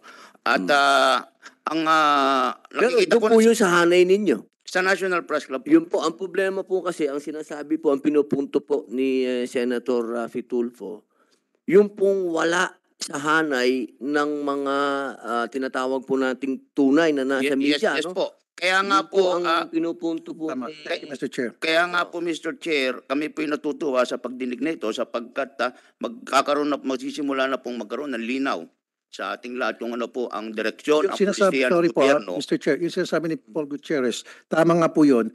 Yung bang kahit na sino, magpapagawa siya ng ID na press siya, and then magpupunta siya sa mga iba't ibang tanggapan ng pamalaan, magpapanggap na reporter, and then manghihingi ng pera, mag-interview kuno sa mga ah, taga-PNP, kadalasan biktima ito taga-PNP o NBI, kung ano pa mang tanggapan ng gobyerno, and then para mangolekta ng pera na wala naman talaga silang dyaryo. And, pero meron silang Facebook account o meron silang ah, YouTube account. And then yung hindi magbibigay, titirahin nila. Yung magbibigay, pupurihin nila. Yun po yung ibig sabihin. So dapat sila ay mak pwedeng kasuhan ng libel at pwede silang makulong dahil ang intention talaga nila para mag-media kuno upang kumita ng pera at manakin ang tao unlike dun sa mga traditional media na talagang proper information dissemination at meron mga fact-checking tulad nga sinasabi ni Ma'am Yeah, Helen. Thank, thank you, Mr. Chair. Before closing po, ah, yung pong issue po ng In fact, isa pa, may dagdag ko nga po. Um, even up to now, makikita mo dyan, may mga sasakyan, may mga sticker, nakalagay press, may nakalagay media, na house show naman. In fact, meron pa ako nakumplanta niyan before, na nabangga yung sasakyan ko sa likod many, many years ago. Nung lalapitan ko, hin- hindi pa ako kilala at that time, ah, sa ah, broadcast pa lamang ako noon sa DZXL. Pinakitaan ko ng ano, picture kasi may nakalagay doon media sa kanyang ano, sa windshield niya. Reporter ako, hindi mo ba ako kilala? Ginoon niya ako. Mm. Sabi ko saan ka reporter? Tapos ngayon, tinignan ko yung ID niya, may pangalan na hindi maintindihan. Sabi ko, ano, anong dyaryo yan, boss? How siya na dyaryo? Mm. And galing siya ng Kamkrame. And, and So yun po, yun po dapat ang mga makasuhan. Kasi nga, ginagamit nila ang pangalan ng media para magkaroon silang freedom of the press, kung tawagin, free speech, para lang makapanloko ng tao, makapagkalat ng fake news, at para makapangikil sa kapwa. Thank, thank you, Mr. Chair. And finally, Mr. Chair, uh, yun, it's on the record po na ang National Press Club po ang isa sa mahusay na nagsusulong ng decriminalization ng libel. But taking the view of Senator Rapi po, naisip din po namin na ano pa ang deterrence sa mga walang iya sa profession, pardon the language, di ba? Yung- Kasuhan sila at pakulong. Kasuhan sila pwede Yun sila nga po, makulong. kasi kung yan po ay civil case lang yan, hindi po papansinin yan eh. Correct. Thank you po, Mr. Hindi po Gutierrez. papansinin yan. Kaya nga po kami sa National Press Club po, mainit po yung debate namin sa loob. Susuportahan ba natin decriminalization or hindi? Kasi dalawang pong aspeto ito. Yung pong tumira at saka po yung binanatan. Paano naman po ang protection sa Nung nasaktan. nung mga na, naperwisyo, nung pong mga nasaktan. Na dito po sa Senado, alam po namin, And- marami and for- pong biktima dito. And for the end time, kaya nga, halimbawa, nanalo, kunyari, yung isang ah, taga-gobyerno na nasaktan. Okay? So, nanalo siya sa korte hanggang sa Supreme Court na umabot. And then yung fine doon sa extortionist na pseudo-journalist, pinatawan siya, sabihin natin 100,000 pesos ang fine. Eh, wala siyang pambayad dahil wala siyang kotse, wala siyang bahay, wala siyang trabaho dahil extortionist ka siya. Sorry na lang yung taga-gobyerno na nasira na yung kanyang reputasyon, hindi siya nakakuha ng hustisya. Yun po yung point ko. Mm, thank you, Mr. Chair. Yun po. Kasi civil lang, di ba? Okay. And then, if I can move on, Mr. Chair, ang pangalawa ko sanang issue din, ah, ito po sa press secretary, kailan tayo magkakaroon ng ah, free internet? Is that a possibility? Kasi dati na pag-uusapan na yan, nang sa gayon, ah, siguro ang pilot project natin to LGUs muna dahil sabi ko nga, ang palaging biktima ng um, ah, false information, ah, itong ah, fake news ay mga mahihirap. At itong mahirap nating kababayan, eh dahil ah, free data lamang ang gamit nila, limited lang ang access nila. So wala silang way na para makapag-fact check. Plus, pagbigyan po natin ng free internet itong mga mahirap na kababayan, eh magka, it, it will open doors of opportunity for them, especially mga farmers natin. Kasi diyan sa social, sa internet, diyan maraming silang information na makukuha na makakatulong sa kanila to enhance their livelihood, their personality, uh, to, to especially dun sa mga kulang sa edukasyon, pwede sila makapag-aral to internet. So, ang tanong ko po, wala ho bang balak ng ating gobyerno na uh, one of these days pag-aralan itong pagkakaroon ng free internet sa ating bansa? Yes, Mr. Chair. In fact, isa po yan sa mga ideal, yung talagang magkaroon ng equal access ang lahat sa internet because nandyan po, yan po ang repository ng mga information. Pwede kang mag-fact check as long as matututo ka, magkakaroon ka ng access. But may we refer you to the DICT um, regarding the the implementation? Nationwide free internet? Maganda yun. Ano sa palagay niyo po? Yes, uh, Senator Tulfo. Uh, meron pong proyekto ang DICT na free Wi-Fi for all. Uh, sa ngayon po, um, naka, naka-roll out po siya uh, nationwide sa mga provinces. Pero um, aminado naman po kami na hindi pa siya, uh, hindi pa covered lahat po ng mga uh, parte, lalo na yung mga liblib na lugar sa Pilipinas. But uh, we are working on, uh, we are putting more budget and we're working on um, ma malagyan po ng uh, Wi-Fi access lalo na yung mga public places in the Philippines. Ano po sa mga liblib na lugar, gusto ko po sana magkaroon ng free uh, uh, Wi-Fi access ang lahat. Hindi lang po yung mga regular na mga tao, yung mga may trabaho. Lalo po yung mga mahirap. Like I said, it will open doors of opportunity for them. Pagbigyan po sila ng uh, access sa, sa Wi-Fi. Sa ngayon kasi wala silang access, free data lamang. So dahil wala silang pera, so na nadideprive na sila nung ah, na na-enjoy ng karamihan ng marami na which is dahil may pera sila nakapasok sa internet sa wifi. Dahil kaya nilang bumili ng yung ah, access sa wifi. Yung mga mahirap wala po especially yung poorest of the poor. So sana po bilis-bilisan po natin na para magkaroon na po sana ng nationwide free wifi access. At kung kailangan po ng legislation yan kailangan po ng budget I will support you again magkano bang kailangan yan, di, eh, ipaglalaban ko po na para madagdagan kayo ng budget o kung namang legislation na ma- matupad na po yung pangarap ng marami na sana po lahat ng tao sa Pilipinas, mayaman mo, mahirap, poorest of the poor, magkaroon ng free access sa Wi-Fi. Maraming salamat po. Um, um, yung proyekto po na ito is, is being handled by a different uh, bureau, different service. Pero pwede po kaming humingi ng report, uh, Mr. Senator, para po ipadala sa inyong opisina. Thank you. Tungkol po dun sa rollout ng aming free Wi-Fi project. Thank you po, Madam. Thank you po. Thank you, Mr. Chair. Maraming salamat po. Senator Win? Thank you. Thank you, Mr. Chair. Uh, well, Mr.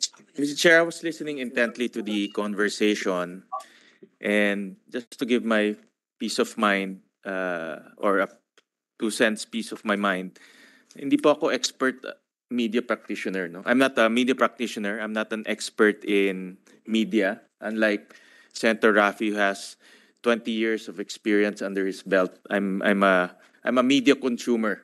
No? I consume information, I consume news, partly because of my job and also my interest. But I'm not an expert, no? kagaya po ni Ms. Tordesillas or si Mr. Ray Langit. But um, just to give you my two cents um, uh, idea or my, my, what I've observed in the past, alam niyo, nagbago na ho talaga ang mundo eh. No? The world has dramatically changed in terms of media consumption, information dissemination, information flow. Ah, tama ho si Mr. Ray Langit, no? Napapanood ho, siya- napapanood ko siya nung elementary student po ako, no? Ngayon nandito na ho siya sa Senado. Before there's only one way flow of information. You turn on the TV, lalabas ang balita. You turn on the radio, lalabas ang balita. You open the newspaper, lalabas ang balita. There is only one way, no? And that information is typically uh, filtered by or delivered and filtered by major news organization, no? GMA, uh, ABS-CBN, uh, Inquirer, all of this.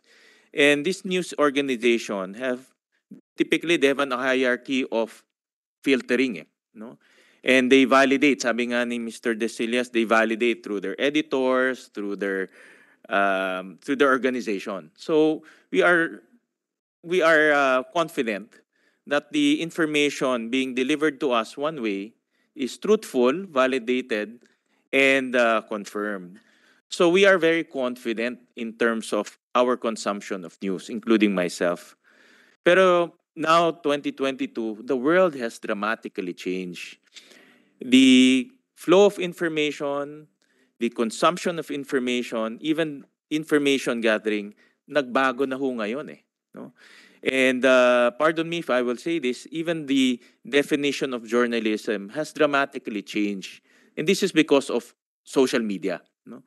and the internet primarily. Technology such as the internet and platforms such as the social media has democratized the flow of information, has democratized journalism.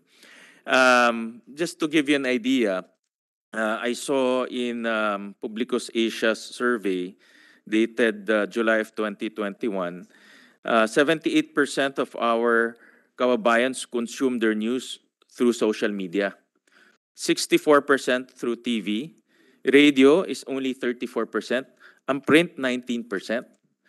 So, bumaba na ho yung consumption ng ating mga kababayan ng news through the formal or they call it mainstream channels.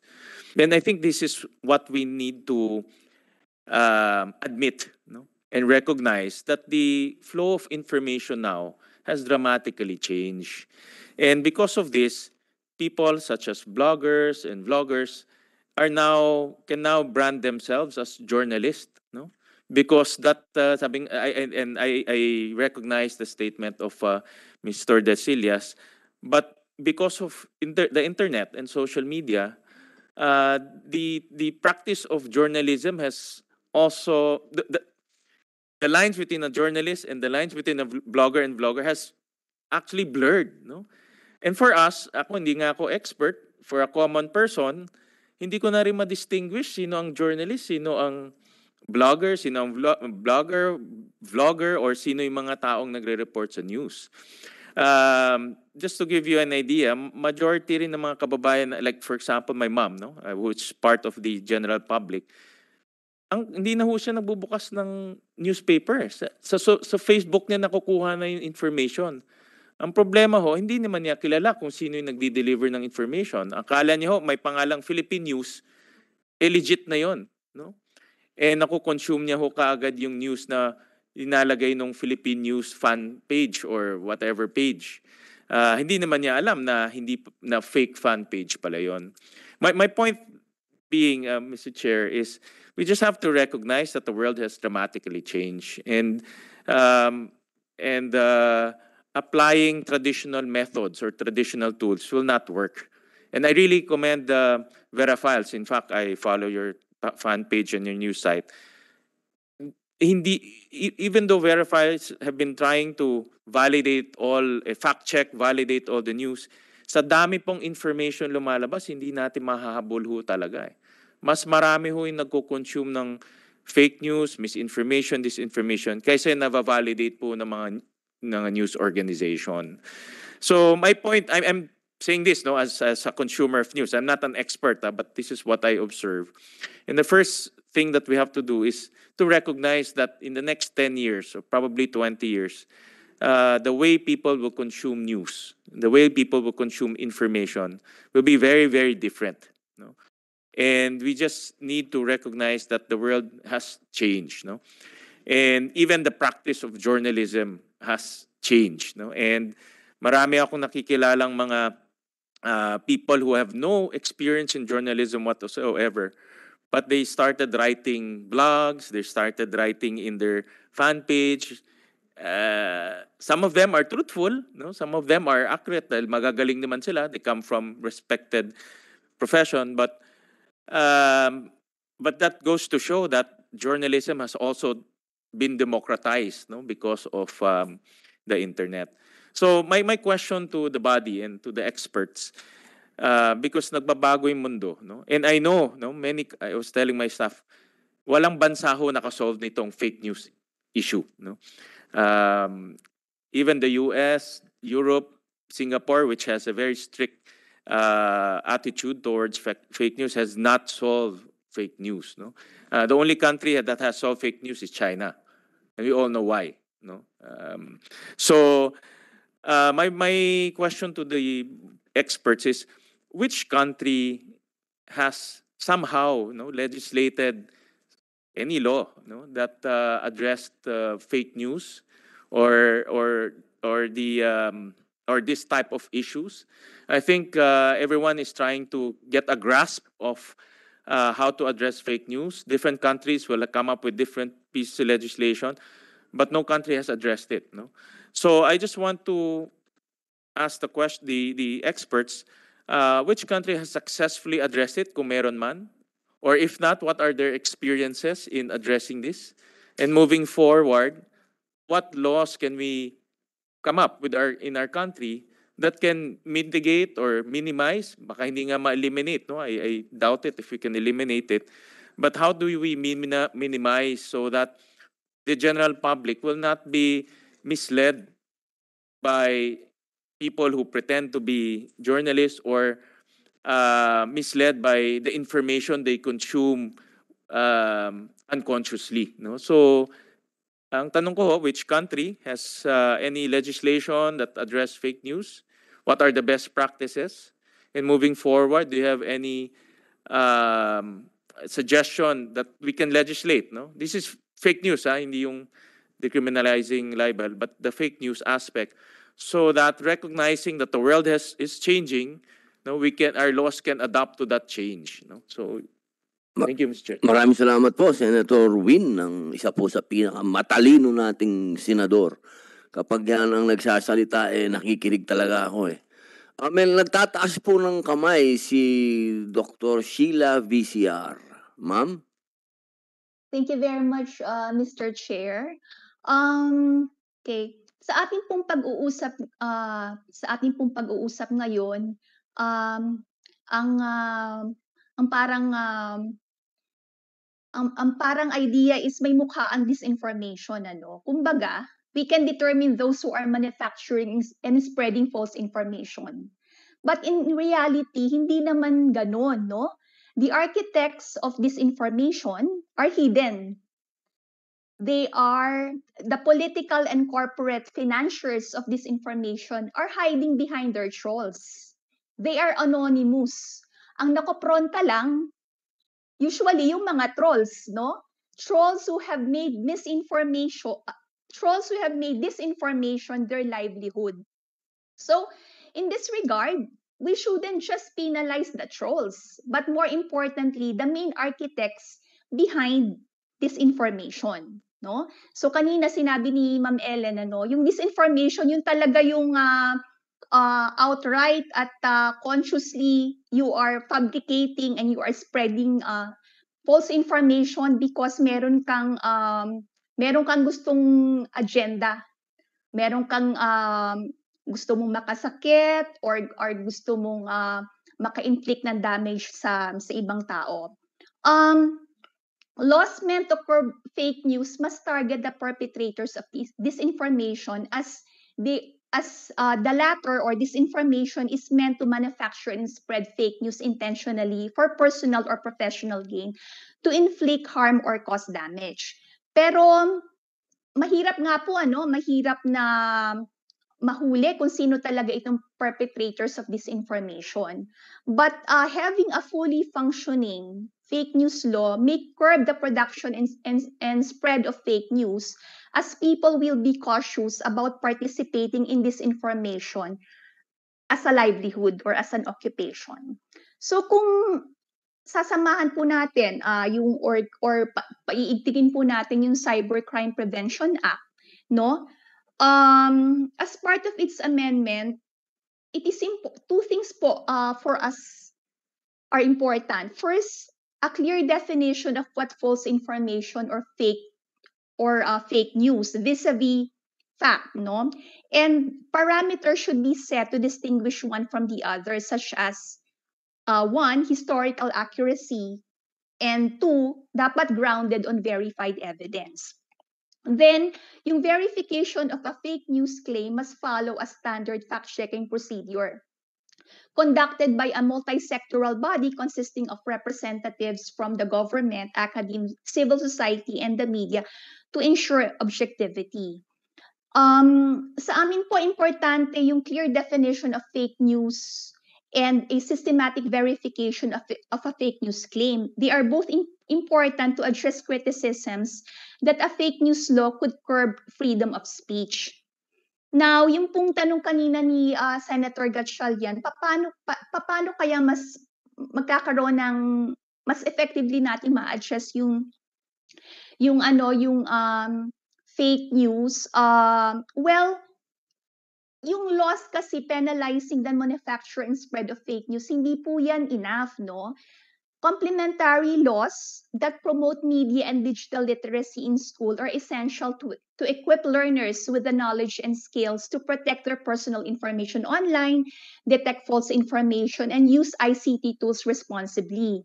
So, um, sa mga nakaraang Congress, uh, four bills have been filed uh, already related to this, which include um, sa House po ito, like House Bill 3986 or the Life Skills Act. Meron din sa House Bill 4648, the Med- Social Media Awareness in Schools and Universities Act.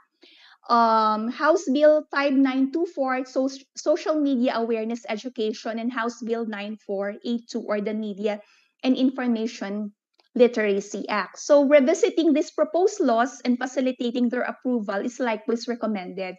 And then po sa ating senior high school program, meron po tayong tinatawag na subject na media and information literacy in the high school uh, in the senior high school program. Pero pero po kung titingnan natin yung program na ito or yung subject na ito, it is a general course and not focus on developing media literacy skills. So there's also a need to review and beef up the um, senior high school curriculum to ensure that um, it, it is helping uh, to address this um, to address um, false in, this issue of false information. Ay, maraming yun lang salamat po. Thank you po, sir. Maraming salamat po, Ma'am Sheila. Ah, sa tanong po ng ating ah, matalinong senador. Ayan. Ito po ang ating mga bansa na meron po silang ah, batas against fake news. Ano? Argentina, Brazil, Canada, China, Egypt, France, Germany, Israel, Japan, Kenya, Malaysia, Nicaragua, Russia, Sweden, UK.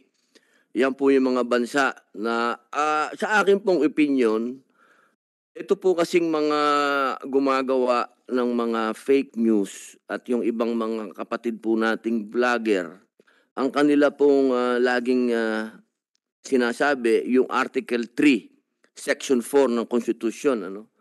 Na hindi po dapat magpatibay ng batas na nagbabawas sa kalayaan sa pananalita o pagpapahayag o pamam pamamahayagan o sa karapatan ng mga taong bayan na may mamayapang makapagtipon at makapagpetisyon sa pamahalaan upang ilahad ang kanilang mga kanaisan at karaingan. Ngayon, ang ah, nangyayari po kasi, ang obvious na nangyayari ngayon, pinagkakakitaan po ito.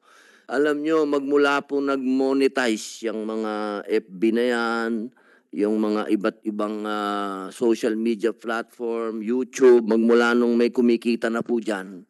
Diyan na po nagsulputan yung napakadami po nating mga gumagawa ng batas. Kaya po, sa akin pong palagay, ano, ah, ang aking mungkahi, hindi po po pwede na hindi magkaroon ng parusa sa mga ganitong bagay. Basta sa usapin na ng pera, pag pumasok na po ang pera, hindi pwedeng walang managot dyan. Kailangan may managot dyan. Pagka usapin lang po ng sinulat o sinabi na wala namang usapin ng pera, yun, pwede yun. Sasabihin natin yun, civil lang yun. Pero kapag ka usapin na, pumasok na ng pera, kriminal na po yan. Ano po ba ang masasabi ng ating mga law enforcement ah, sa aking pong mungkahi, ah, Colonel Bernard Yang?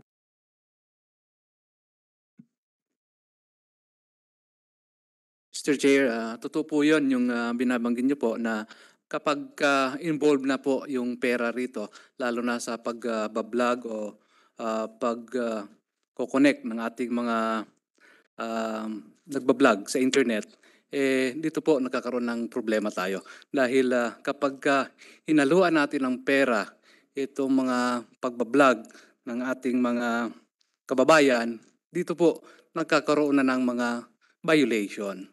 So, we really support yung sinasabi po ng ating chairman.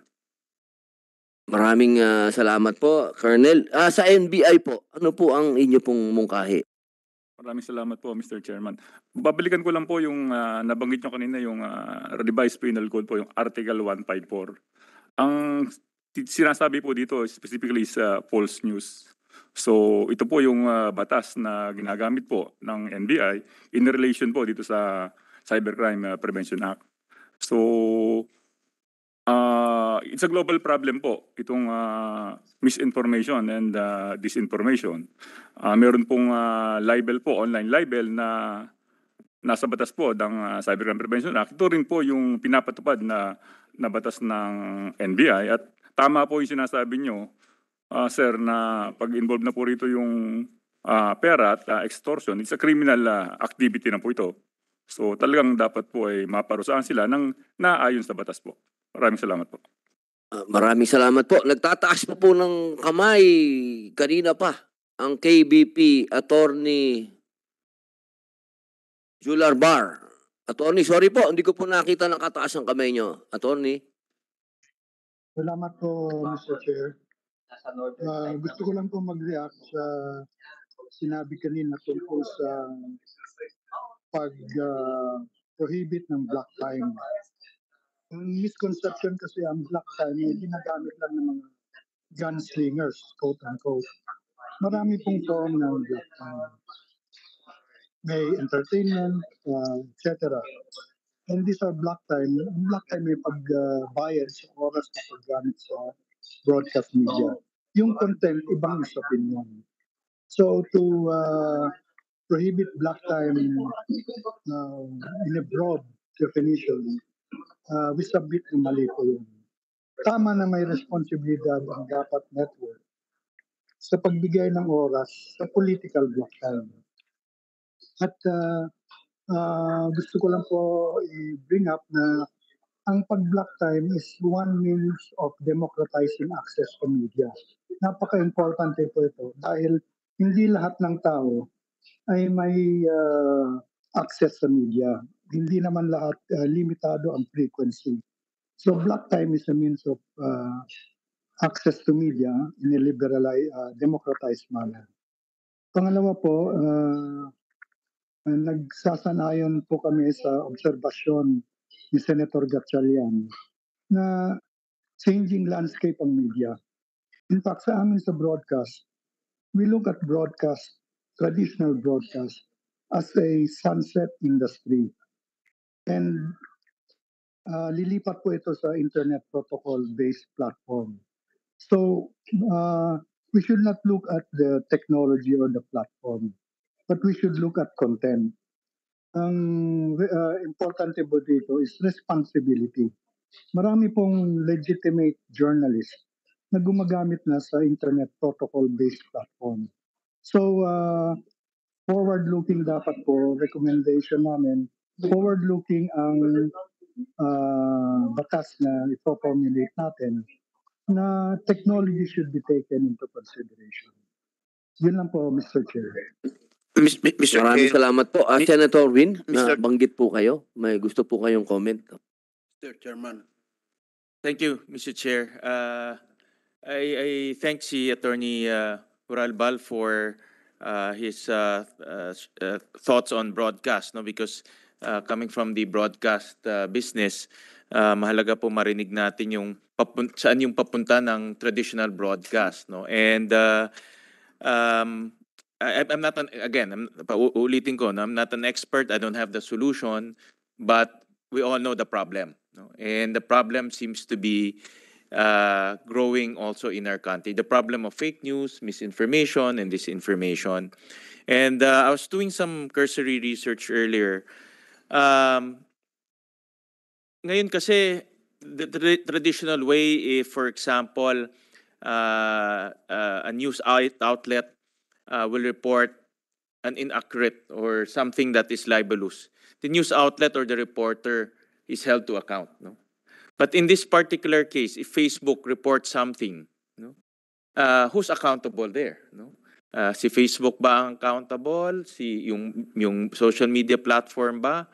And then at the same time, the person who opened the account, number one, legitimate ba yung account holder? Kung legitimate yun, how do we hold them into account? Do we have the technology to even loc- locate? Maybe that's a question to the PNP and to DICT because iba yung alam mo at iba yung malolocate mo because these people have no ad, naman their address are not published in their Facebook accounts no so that's another challenge no I, I'm posing this to everyone ah, because I don't have the solution and the the answer to this that's why uh, it's good to um, uh, to talk to the experts uh, so that we will have a lively uh, discussion on how to address this in our own shores. No, like I said, uh, some countries have already enacted some form of legislation to address this, but the Philippine setting is very, very different. No, I'll give a, a very exa- an example po.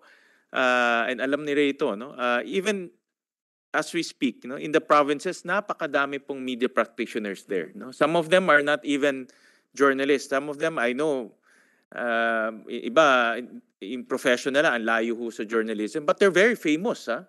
in their own locality because they know, they, they, they deliver well and they have credibility. So my, my point there is, um, the Philippine setting is very, very different. No? So I want to pick the brains of everyone on how to come up with a with a piece of legislation that is also ref- reflective of the Philippine setting, no? Dahil iba ho talaga yung atin. So, uh, Chairman, I- I'm throwing this to them and uh, they're the experts and uh, they can recommend to us. Maraming salamat po, Mr. Senator. Win. Meron na pong hanging question sa law enforcement. Kung meron daw po ba tayong kakayahan. Ah, unahin na po natin si NBI na hanapin itong mga gumagawa nito o nagpapanggap lang sa ibang pangalan. Mr. Chairman, may kakayahan po tayo na hanapin ang ah, mga ito at ah, meron po tayong mga nakasuhan na rin tungkol sa specifically libel po and then ah, ito pong Article ah, 154 at nung kasagsagan po ng pandemic, yung pong mga nagpapakalat ng ah, misinformation and disinformation, marami po tayong nakasuhan at na-arresto po, Mr. Chairman. Ganon din po ba sa PNP? Yes, Mr. Chairman, uh, we have a lot of uh, cases that we handled. With regards to the uh, violation of Article 154 of the revised penal code, which is yung uh, uh, pag uh, ng information which endanger the public order or cause damage to the interest or credit of the state. So, in fact, for this year, we have uh, six cases that we handled, and uh, those were filed in court. And uh, in the year 2020 and 21, we have uh, several cases also. So we have the capability, Mr. Chair, to identify these persons. Yun po. Win? Opo. Mr. Ah, Mr. Chair, sige po. Ah, Sena, Senator tuloy. Ah, kasangga mo ang langit. Yeah, maraming salamat po sa inyo, uh, Chairman uh, Robin Hood. Yeah, doon po sa nabanggit po ninyo, hingil po sa ating mga authorities, NBI at PNP, meron po akong isang challenge dito gustong uh, i-address sa kanila at gusto pong i-share sa grupo. Pero bago po ito, nais ko lang po i-acknowledge yung ginawa po kanina na uh, revelation, no less than ni uh, Senator Gatchalian, na bata pa po siya, ay nakikinig na siya kay Ray Langit. Hindi po ko offended, uh, Senator, sa sa age dahil ang kababata ko po si Mr. William Gatchalian. Nang talungin sa akin ni Mr. William Gatchalian, uh, paring Ray, meron akong anak na gustong pumasok sa politika gusto kong uh, ibigay mo ang uh, honest opinion mo. Sino yan? Ah, itong si Win Gatchalian. Ang sabi ko, sa pangalan pa lamang panalo na. At ngayon, uh, Mr. Chairman, with all due respect, yeah, sasamantali ko na po ang pagkakataon. Narito po ang NBI, narito po ang um, PNP. Ito po ay masyado nakaka-alarmang pangyayari bilang public information po. Yeah, dumulog po sa amin sa media ang isang ginang kahit siya po ay natatakot sa kanyang buhay at kaligtasan, naglakas loob po siyang isiwalat ang isang malupit na modus maging warning sa ating publiko. Ito lamang po November 6, nabiktima po ang isang ginang gamit po ang disinformation, fake information. Yeah, ma'am test po ang itawag natin sa kanya Yeah, para na rin po sa kanyang proteksyon. Nakatanggap po siya ng automated call mula po sa PhilPos.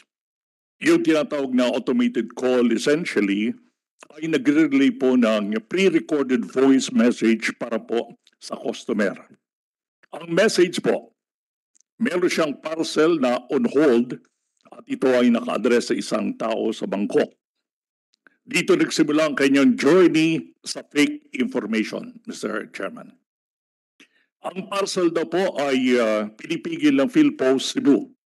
Ang description po ng sender ng parcel ay tumutugma sa kanyang identity, sa kanyang pangalan, sa kanyang cellphone, sa kanyang number at address. Ang parcel daw po ay nagtataglay ng illegal documents, kaya on hold. At hindi raw maaaring ipadala sa receiver, ang kasong nito ay nasa PNP Cebu at dito na siya makipag-coordinate upang maklear ang kanyang pangalan.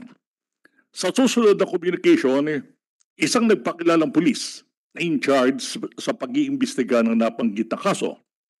Sinabi ni Ma'am Tess na hindi siya nagpapadala ng parcel kanino man at nagagamit po ang kanyang pangalan na walang pahintulot. Upang malinis ang kanyang pangalan, narapat na sumailalim daw siya sa isang investigation sa Cebu. Malayo para sa kanyang Cebu dahil hindi siya naninirahan doon, dito po siya sa Metro Manila. Sinabihan siya, sige, interviewin ka namin via Skype video call upang ang kanyang statement ay maging legitimate and will serve as an official statement na hindi siya involved sa naturang kaso. Ayon po kay uh, Ma'am Tess, ang taong nag-interview sa kanya ay naka-uniforme pa ng pulis. Sa payag po ng alleged police, dapat raw ay confidential ang lahat ng kanilang pag-uusapan. Dahil dito ay uh, ito po ay inihinala raw na case of large-scale money laundering. Siya ay magiging under surveillance within 72 hours. Dito nagsimula po ang kanyang. This is when I started to get scared. What happened next was interrogation and purely threats. Kung hindi raw siya makikipag-coordinate, ay madidetain siya hanggang matapos ang kaso. Dito, natanong ang kanyang bank account, magkano laman nito, saan ginagamit ang salapi nakadeposito rito, kinakailangan na i-monitor nila ang bank account upang mapatunayan na siya po ay inosente. Kailangan daw po screenshot ang bank account at ang laman ng deposito. Nagpadala rin ng dokumento sa kanya na nag-file daw laban sa kanya na may kasamang warrant, warrant of the arrest na na nakapangalan sa kanya. Lalo siyang nahintakutan eh, nang sabihin may kasurang silang nahawakan eh, na 23 years old babae na nagsumbong sa kanyang ina na nagtungo sa impilan ng pulisya nang sumunod na araw ang kanyang ina ay natagpuang patay at may tama ng bala sa ulo. My mind was already blank and all I can hear is voice telling me to do this, to do that. All I can do is just follow what he says. I'm afraid to be detained or worse, could be killed. Kaya nang sabihin niyang mag-money transfer, malagyan ito ng tracker para ma-monitor daw ang flow ng pera, hindi siya nagdalawang isip, nag-transfer po siya ng 48,000 pesos maklear ang pangalan at mag-move on na siya. Pero ang dagdag pa, dahil suspect daw po siya sa kaso, kinakailangan magbigay po siya ng 20,000 pesos sa detainees bond. Ang detainees bond will serve as proof na siya ay nakipag-coordinate at hindi tatakasan ng investigation. Sa puntong ito ay nag-text sa kanya ang kanyang husband na nasa abroad na nataong nakamonitor sa kanilang CCTV. Sinabing hindi siya dapat magbigay ng pera. Makalipas sa maibabang linya ng alleged police at nakontak naman ng kanyang mister ang kanilang abogado, sinabi ng abogado na ang lahat ay fake information siya ay na-scam. Right there and there, I broke down. Halos himatain po ako. Saglit lang nawala agad ang aming savings, ang aming pinaghirapan, I cannot speak, I cannot think. Meron pong maikling message po rito si Ma'am Tess on video para po sa committee. Please, let's play it.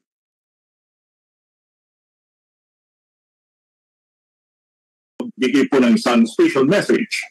Itong message na ito ay uh, uh, mapapanood po, mapapakinggan eh, no less than ng chairman po ng uh, Public Information and Mass uh, Media sa panguna po ni Senator Robin Padilla at ang kanyang mga kasamahan sa Senado. Tama-tama po ang uh, mga ganitong disinformation eh, at ganitong uri po ng pagsasamantala sa kapwa ay dapat matigil at po sa pamamagitan po ng uh, uh, legislation in aid of uh, legislation eh, ay uh, ma-address if not mahuli mismo at makulong po ang mga involved dito sa ganitong uri ng uh, pananampal, uh, pagsasamantala sa ating kapwa na uri po ng masyadong uh, talamak na uh, modus na biktima po sa mga katulad po ninyo.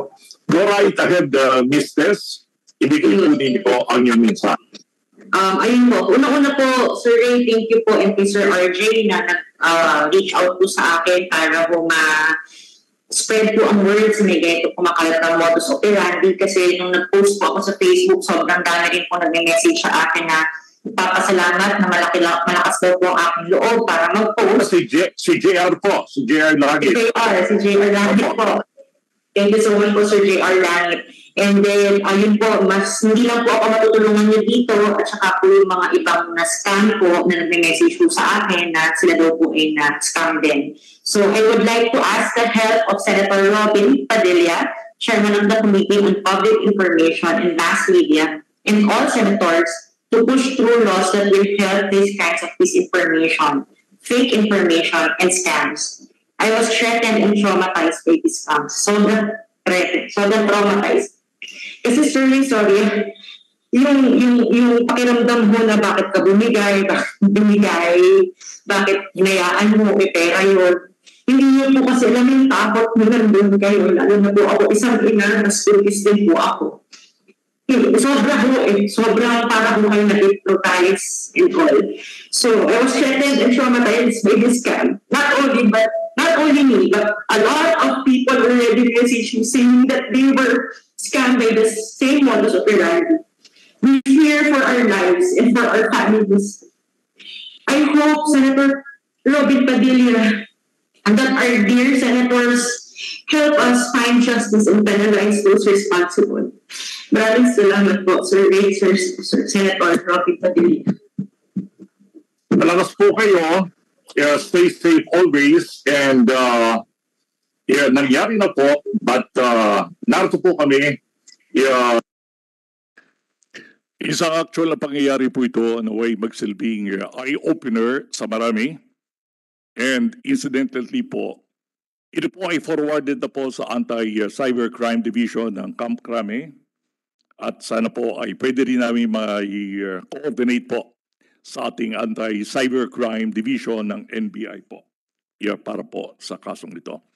Yeah, distinguished chairman, eh, madagdag ko lang po, habang pinag-uusapan po natin ito, ay meron na naman pong panibagong biktima at uh, ito pong panibagong biktima, the same modus operandi po. Isang biktima na kaibigan po ng ating uh, Yeah, media man, kasangyang JR Langit, 60,000 po ang natangay sa biktima gamit po ang the same modus.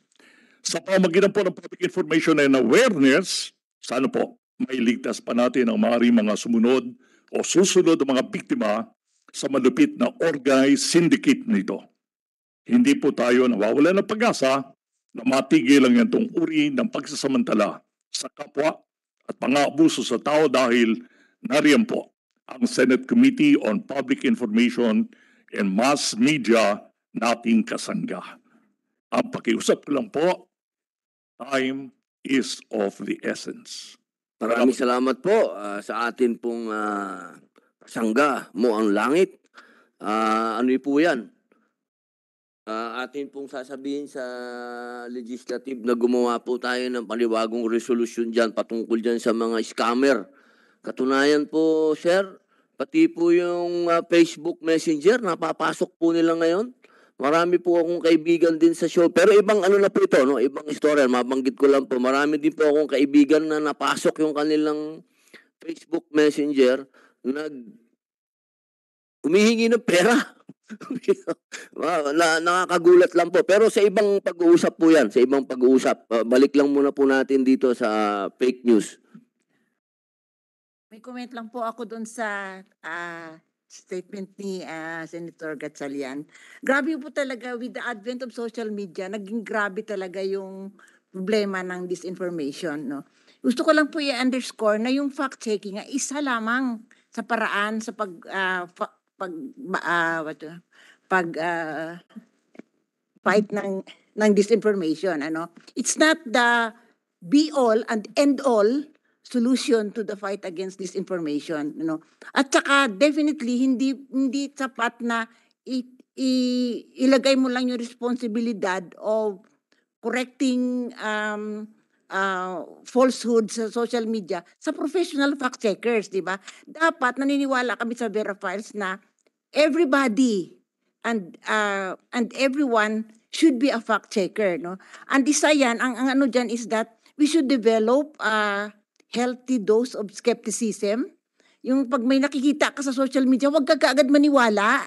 Yung ano, yung one, wag ka mag-share wag wag mo i- ano i-click yung share na button kung hindi ka sigurado. Isa 'yan. That's one way of um uh, of um helping not spread disinformation. And tapos kaya kami sa Verifiles, nagtitrain kami lahat-lahat estudyante, ganun nagtitrain kami how to fact check, how to how to spot disinformation and gusto namin mas marami pa sana kami matrain para mas spread yung culture of of um, culture of fact checking yun ang ang pangalawa ang tsaka dapat multi-pronged ang anito ang ang solution ang, ang, ang mahalaga talaga dito yung ating department of yung sa education.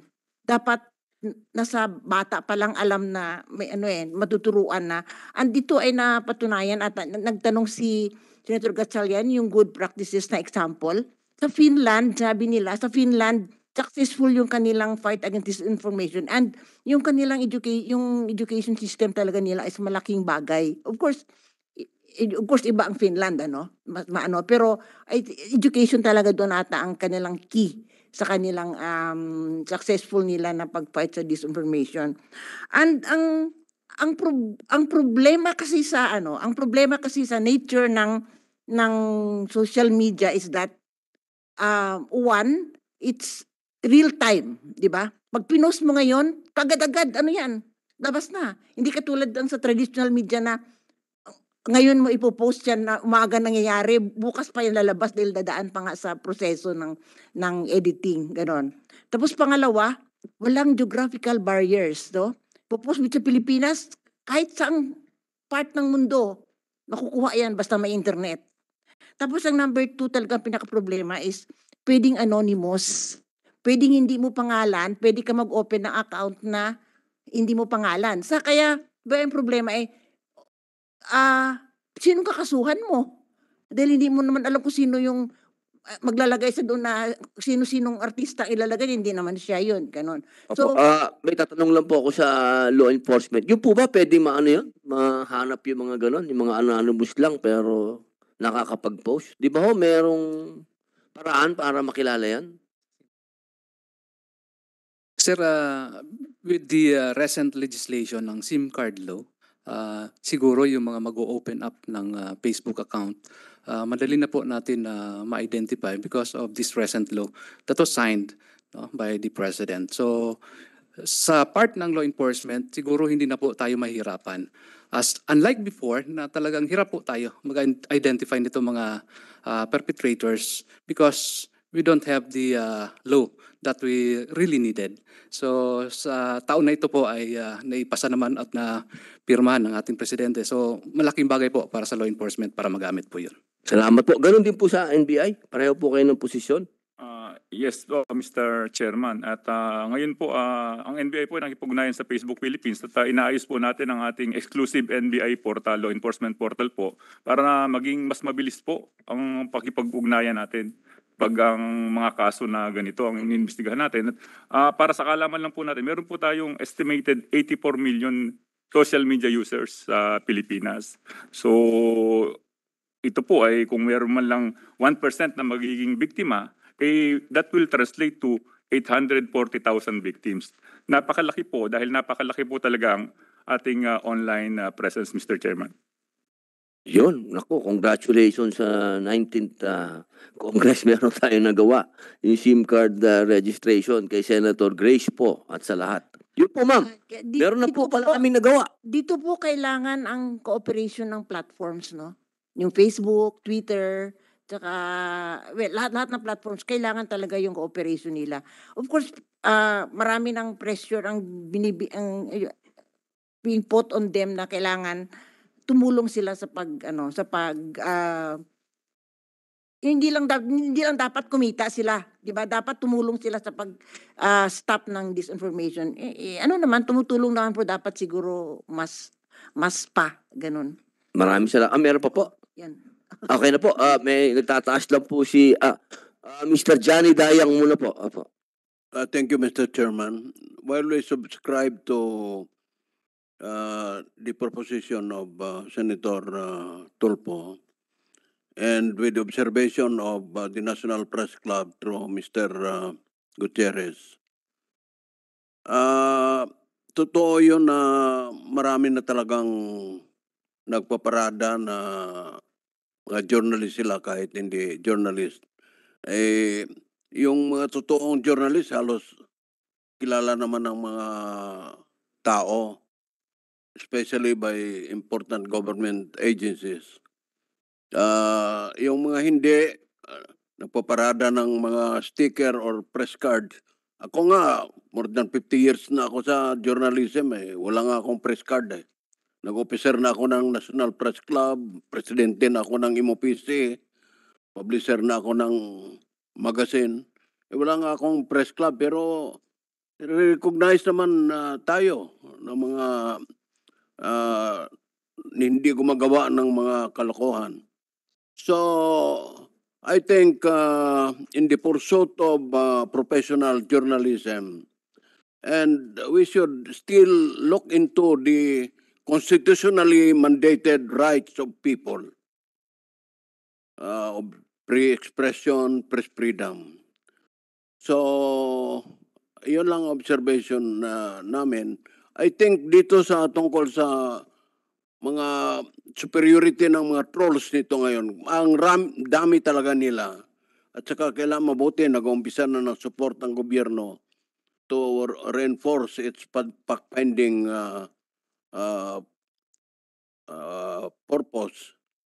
Ay palagay ko, kilala naman nila kung sino yung sa budget, alamin agad yon kung sino yung pinakamalakas na grupo sa mga trolls na yan. Anong anong agency ng government or uh, private ang malaking budget at kung sino nag-employ ng maraming uh, tao sa mga trolls. These are the inventors of uh, fake news eh.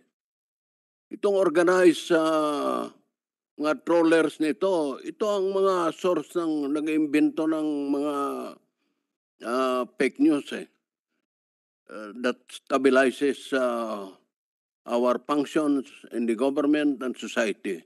Kaya I think uh, uh, I'm sure that the the police and in BI may mga records na I think or they are pursuing already some uh, groups that uh, or they are looking into the activities of some groups who are engaged in uh, creating uh, disinformation. Thank you. Mr. Mr. Chair, Opo, opo. be- May- very May tatanong lang po ako sa NBI. Paano po yun? Meron po ba kayong mga na ano na? Meron po kayong na-identify na talagang mga trolls? Katulad po ng sinabi ni Mr. Dayang? Ah, Mr. Chairman, ah, ang batas po na pinairal natin ngayon is ito pong ah, Section 154 ng RPC on ah, false news. And ito po kasing batas na to, specifically, ang sinasabi po dito is yung false news which may endanger public order or cause damage to the interest or credit of the state. So, yun po yung malinaw dito na sinasabi sa revised penal code. So limited nga po at ah, makatutulong nga po ang inyong panukalang batas kung mas ma-expand pa or mas maraon po, magkaroon po ng mas maayos na definition po yung misinformation and disinformation at kung ano po ang magiging liability po ng mga taong ah, ah, lalabag sa batas. Paano kalang batas po, Mr. Chairman? Ah, maraming salamat po. Kasi tanong ko lang po sa ating Office of the Press Secretary. Kasi kung sinasabi ng ating ah, mahal na NBI ay national scale ang damage, eh kawawa ang presidente ng Pilipinas. Lagi na lang binaba. National scale yon Katulad nung nagkaroon ng kalamidad. Akalain mong sabi nila nasa Singapore daw yung presidente natin. Eh kasama ko siya dun.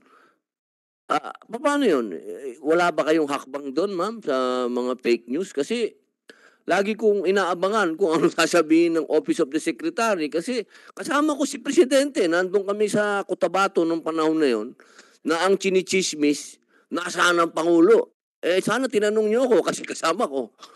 Ah, yun lang po ang ano ko. Ang wala po ba kayong hakbang doon? Katulad ng sinabi ng NBI, eh, nation, para sa akin, national issue yun. Yes, Mr. Chair. First of all, um, ang ginagawa po namin is we walk our talk. So dun pa lang sa paglalabas ng mga balita tungkol po sa mga activities ng Presidente, mga programa po ng Executive Branch, we're already very careful in the crafting of our press statements, press releases, and information uh, that we disseminate to traditional media and to our to our colleagues in the media because ako po 24 years po ako na mamamahayag. So bago po ako sa trabaho na ito, yun po ang aking background, Mr. Chair. 24 years po ako na reporter. So we're very careful um, um, with that. We have people on the ground tailing the president, making sure they're there. And yung pong nagsusulat tungkol sa mga activities na ito, talaga pong nandoon sila at nakikita nila kung anong nangyayari at mga kaganapan. So make it a point, Mr. President, um, uh, Mr. Chair, that we're very careful in the crafting of our press statements. Now, as for me, I handle the broadcast media services of the Office of the Press Secretary. Therefore, nasa ilalim ko po ang aking supervisory functions, ang PTV, ang IBC, at ang PBS, Radyo Pilipinas. So, ito pong mga entities na ito, may kani-kanila silang mga programa and projects to combat fake news. Like in the case of PBS, nag-iikot sila nationwide trying to mentor students and yung communities para po um, labanan ng fake news, papaano mag-digest ng tamang impormasyon dahil hindi lang naman kasi dun sa nagpapakalat ng balita, Mr. Chair, eh, nandun din sa nagda-digest nung balita, nung recipient. Kailangan po yung ating information dissemination nandoon din sa tumatanggap nito, which is why some of our colleagues here, some of our friends here mentioned na very important nga yung sa curriculum pa lang, di ba, nandun na. So, for example, ng PBS, meron silang ganon. Ang PTV naman, meron um, kaming laging handa, public briefing, every day ito, and meron din the chat room. Kaya, galing mismo sa mga primary sources ng information ng gagaling, yung impormasyon. So, importante yung ganoon. Ah, Nandun pa lang po kami doon, Mr. Chair. And because we now have an OIC who just assumed office, so we expect we'll also be coming up with programs na OPS-based po. But I cannot preempt that, Mr. Chair po. Okay po. Ma'am, ah, tanong ko lang po kasi sa DOJ, ano natin, paano natin, ga- sa ngayon kasi yun pa lang ang batas. Wala tayong magagawa. Yun pa lang eh. At ah, yan ang aasikasuhin ni Senator Win Gatchalian. Ma'am, ano pwede natin gawin? Sino pwedeng magreklamo doon? Kasi ah, para sa akin, national threat yung gano'n. Eh. Tinatanong mo kung nasan yung presidente. Mr. Chair, if I may be allowed to share the legal framework po with regard to false news or fake news, no? Uh, Republic Act, uh, the revised penal code, particularly Article 154, is just one of the laws uh, available or existing na nagpaparusa sa pag-disseminate ng false news. So for example, we use Republic, uh, we use the revised penal code when the target is the public order, the the interest of the the interest of the state. On the other hand, if the target is a private individual, we can use uh, cyber libel under RA 10175 or even unjust vexation under the revised penal code. And if it's used or if the, the unjust vexa- vexation was perpetrated via online, we can we can relate revised penal code to RA 10175, yung Cybercrime Prevention Act. On the other hand po, if the, the fake news is concerning uh, uh, uh, misinformation or disinformation regarding the COVID-19 pandemic, we can use the Bayanihan to Heal as one act. And if the the false information po or misinformation is targeted against an individual no with regard to her reputation particularly po we can use the safe spaces act or RA 11313 so if you're asking uh, Mr. Chair if we have existing legal framework that can address uh, uh, misinformation or disinformation the answer is yes. But the next question is are these laws sufficient? No. Um uh, based on the the statements of the NBI and the PNP maaring sufficient naman po. Meron tayong tools no on how to investigate yung mga ganitong cases. Kasi medyo mahirap po online yung setting. So unlike dun sa personal experience yung kilala mo kung sino yung nag nag-spread ng misinformation if you use online pwede kang maging anonymous, magtago sa online accounts. So kailangan ang laws na magagawa po natin to target misinformation and this and disinformation, we ha- we should have technical tools that can assist law enforcers kung paano ma-divulge or ma-disclose itong mga personalities ng mga tao behind the online accounts. And I believe, sir, that RA 10175 or the revised penal uh, or the Repu- or Republic Act or, or the Cybercrime Prevention Act of 2012 is sufficient in tools with regard to assisting law enforcement authorities in conducting investigation that can um, identify the people behind uh, disinformation and misinformation. So Okay. Ang haba. pero pero napakaganda ma'am nung sagot mo. Kasi ah ma'am national interest yung nangyari na yon. Okay? Nag na, na nalulungkot ako kasi walang nangyaring aksyon. Meron tayong very delicate issue sa BARM and the national government. Okay, BARM, Bangsamoro Autonomous Region of Muslim Mindanao. Sinasabi nitong mga nagpapakalat ng, ng fake news na wala ang presidente. Yun ang kumalat. Ma'am, alam nyo kasi ang problema sa Pilipinas, mas pinakikinggan yung pangit. Ewan ko, mga gwapo't maganda naman tayo, pang hilig natin sa pangit na balita. Ang kumalat doon sa amin, sa lugar namin, na wala si Presidente. Si Presidente ay nasa abroad. Yun ang pinakalat eh. Yun ang makikita mo lahat sa social media. Nasaan ang Pangulo? Malaking epekto ito, ma'am. Kasi meron tayong pending na nag-uusap pa ang Republic of the Philippines at ang BARM. Hindi pa tapos ang issue na yan. Hanggang ngayon, nag-uusap pa yan. Patuloy pa rin ang pag-uusap ng dalawang partido na to. Kaya pag hinaluan mo ng ganong fake news na sinasabi mong wala ang presidente sa oras na ang daming namamatay doon at lubog ang BARM, aba, eh malaking epekto niya. National issue yan. National interest yan. Ang inaano ko doon, bakit walang aksyon legal galing sa ah, ating gobyerno doon sa nagpakalat ng balita na yon samantalang yung balita na yon naapektuhan lahat ang nasa BARM dahil ang akala nila pinabayaan sila ng Pangulo ng Pilipinas. Yun lang ma'am ang aking ano po. Mr. Chair, I believe the the uh, offense or the crime under RA under Article 154 of the Revised Penal Code is not a private crime. So anyone can uh, institute a criminal of a criminal case or institute an investigation against the person who peddled the false news against the the the president. So um Kahit, kahit sino, pwede? yes Pwedeng mag-kaso? yes po, it's not a private crime. So pwede pong Pwede bang NBI kagad o PNP kagad o ang Office of the Press Secretary? if it's um Hindi, since pe- hindi, hindi kailangan ng private complainant. Ah, yes, yes, Mr. Chair, it's not a private crime. So kahit sino po pwedeng mag ah, mag-initiate ng complaint Kahit ng ako, pwede akong mag, ano, kasi ginugulo nila yung pistok. Yes po. Yes po. For Oh, sige purposes po. of investigation. Okay ma'am, hindi pa tayo natatapos sa hearing na to. Tinatawag lang ako, kaya sususpindihin ko lang po ito. At meron pa po tayong pangalawang pagdinig. Ah, Ah, o sige po, mabilis na lang po ha kasi na- may hawak na pong pamatpat si at Senator Pia. Yeah, idagdag ko lang po rin sa concern po ninyo, yeah, mahal na chairman, eh. Yeah, importante, importante, aside doon sa batas na ating kinakraft. Yung pong immediate reaction sa mga ganyang tanong, ang trabaho po ng executive na nagbabantay sa ating Pangulo ay 24-7.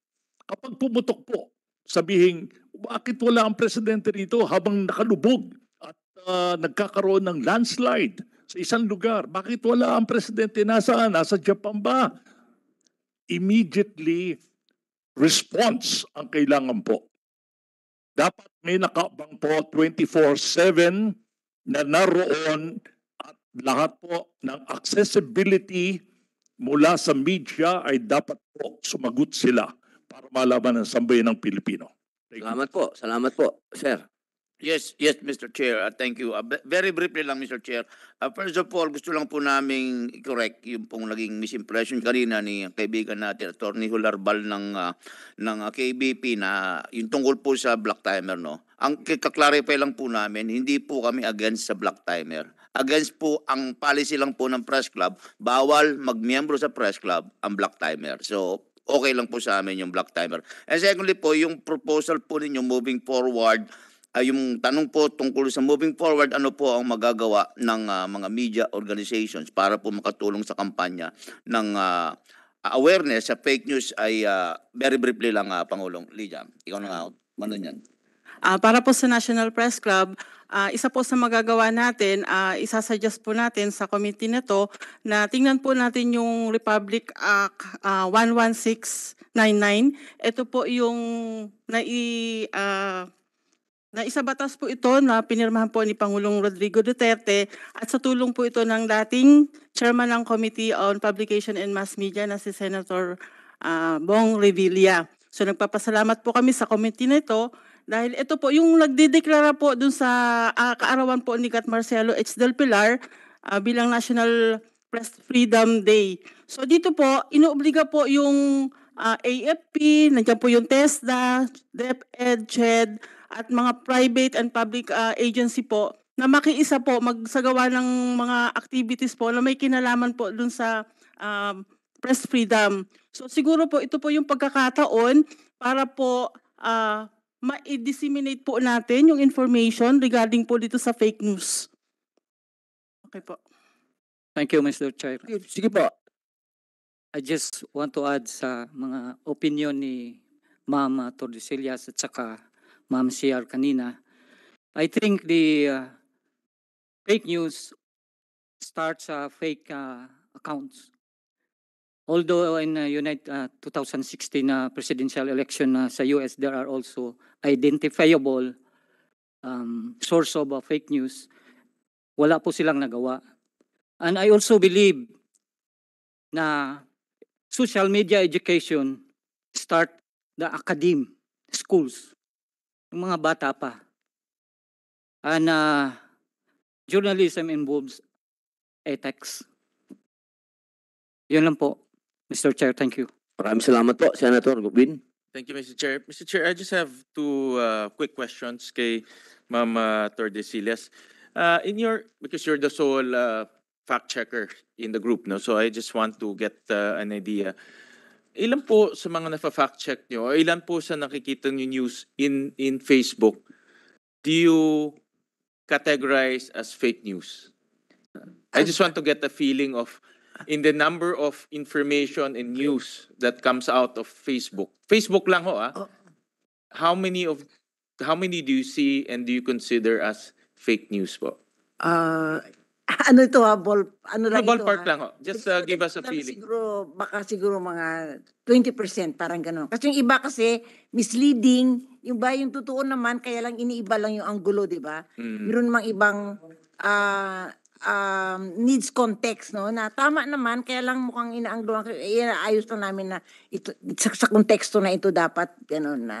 Tapos, ah, mga yan siguro. Mga 20% po. Sa uh, mga naki- eh, in your estimate. Uh, estimate, ano lang to ha, ano lang kasi Yeah. we have to And then those who those 20%, what type of accounts are they? Are they fake accounts? Are they real accounts but just purveyors of fake news? Ah, meron naman meron kasing mga accounts na mahilig talagang ah, mahilig talaga na fake yung mali-mali yung mga yung mga yung Material. yung kana- kanilang pinopost. Doon No? sa 20% na ho yun.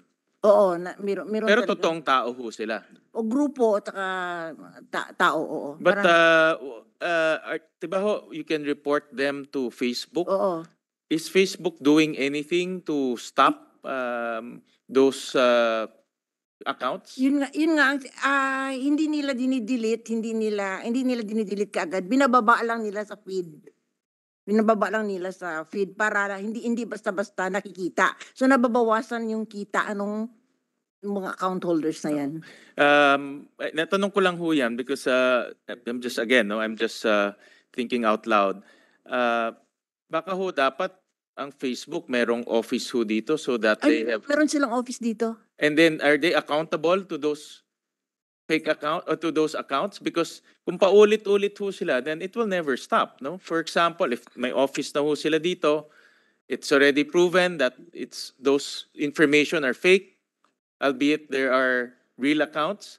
So in other words, the social ag- again, I'm thinking out loud, ah, uh, the social media platform should be held accountable for perpetuating people who perpetuate fake account, uh, fake news. So yun, yun na po ang yun na po ang mga ang accusations against sa ang reklamo sa Facebook no but I think Facebook should be the one to answer that.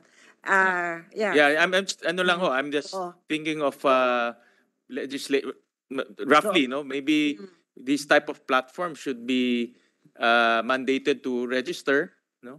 Uh, here in the Philippines and also be accountable so that uh, uh, yung mga ganitong accounts eh magawa ng paraan whether to sue them or to remove them or whatever, no?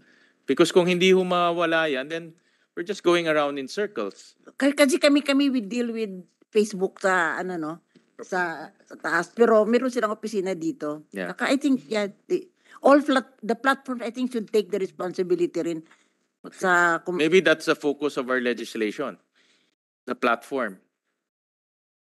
No, I'm, I'm just thinking out loud, Mama. I'm, I don't know the answer again. Yeah. No, but uh, I'm thinking, uh, in fact, a lot of countries are focusing on the platform. Yes, oo. Dito sa atin kasi ang pinaka pinaka-popular talaga na platform na gamit is Facebook. Facebook, yeah. yeah. Oo. Attorney, I think. If I may, Mr. Chair, uh, just to respond to Senator Gatchalian lang po, Facebook or Meta Platforms Inc. has uh, a very good working relationship with law enforcement authorities with regard to these issues. No? So for example, yung tanong po natin kung may ginagawa ba si Facebook or si Meta with regard to the pro- proliferation of fake news or misinformation using their platform, the answer is yes, meron po. We, we have the option, the law enforcement authorities, the PNP, the NBI, and even the DOJ has the option to directly communicate with their legal or with their law enforcement um, department and actually request for takedown or request for the deletion of accounts that are identified as being utilized to uh, uh, peddle fake news or misinformation. And uh, in addition po, meron pong mechanism si Facebook na kapag nag-search ka or nagtingin ka agad ng information and you're sharing it without even actually reading it, meron kang magpa-pop up na tab saying that you haven't read the you haven't read the the news. Are you really willing to share it? Parang ganon so in fairness naman po sa Meta as uh, or Facebook they they are helping or they they, they are doing something about it. Chairman, if, if, uh, if with your permission, uh, pasubmit na lang, attorney. Can please submit to the committee uh, those uh, uh, reports that you filed uh, through Facebook and the actions that they have uh, initiated so that we will have a good feel whether Facebook is effective, cooperating, not cooperating. No, I think uh, we, we want to also look at the platform itself. No, uh, not only Facebook, not limited to Facebook, but also other platforms. Let's say Twitter. No, Twitter is another platform that is uh, quite notorious. No, so just submit to us some information regarding how DOJ uh, is working with Facebook and also the reports that you filed and also the action that they made.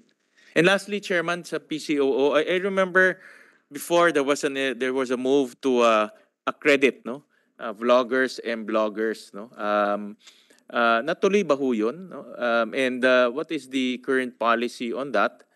Uh, again uh, this is in line with what I said earlier that the world has changed no?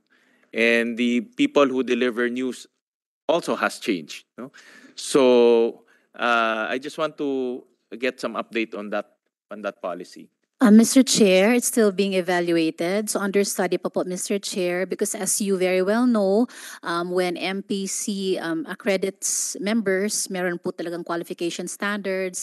So that's why the proposal is still under study po. Thank you. My humble suggestion, Mr. Chair, no, it, I think that's a good way of putting some standards.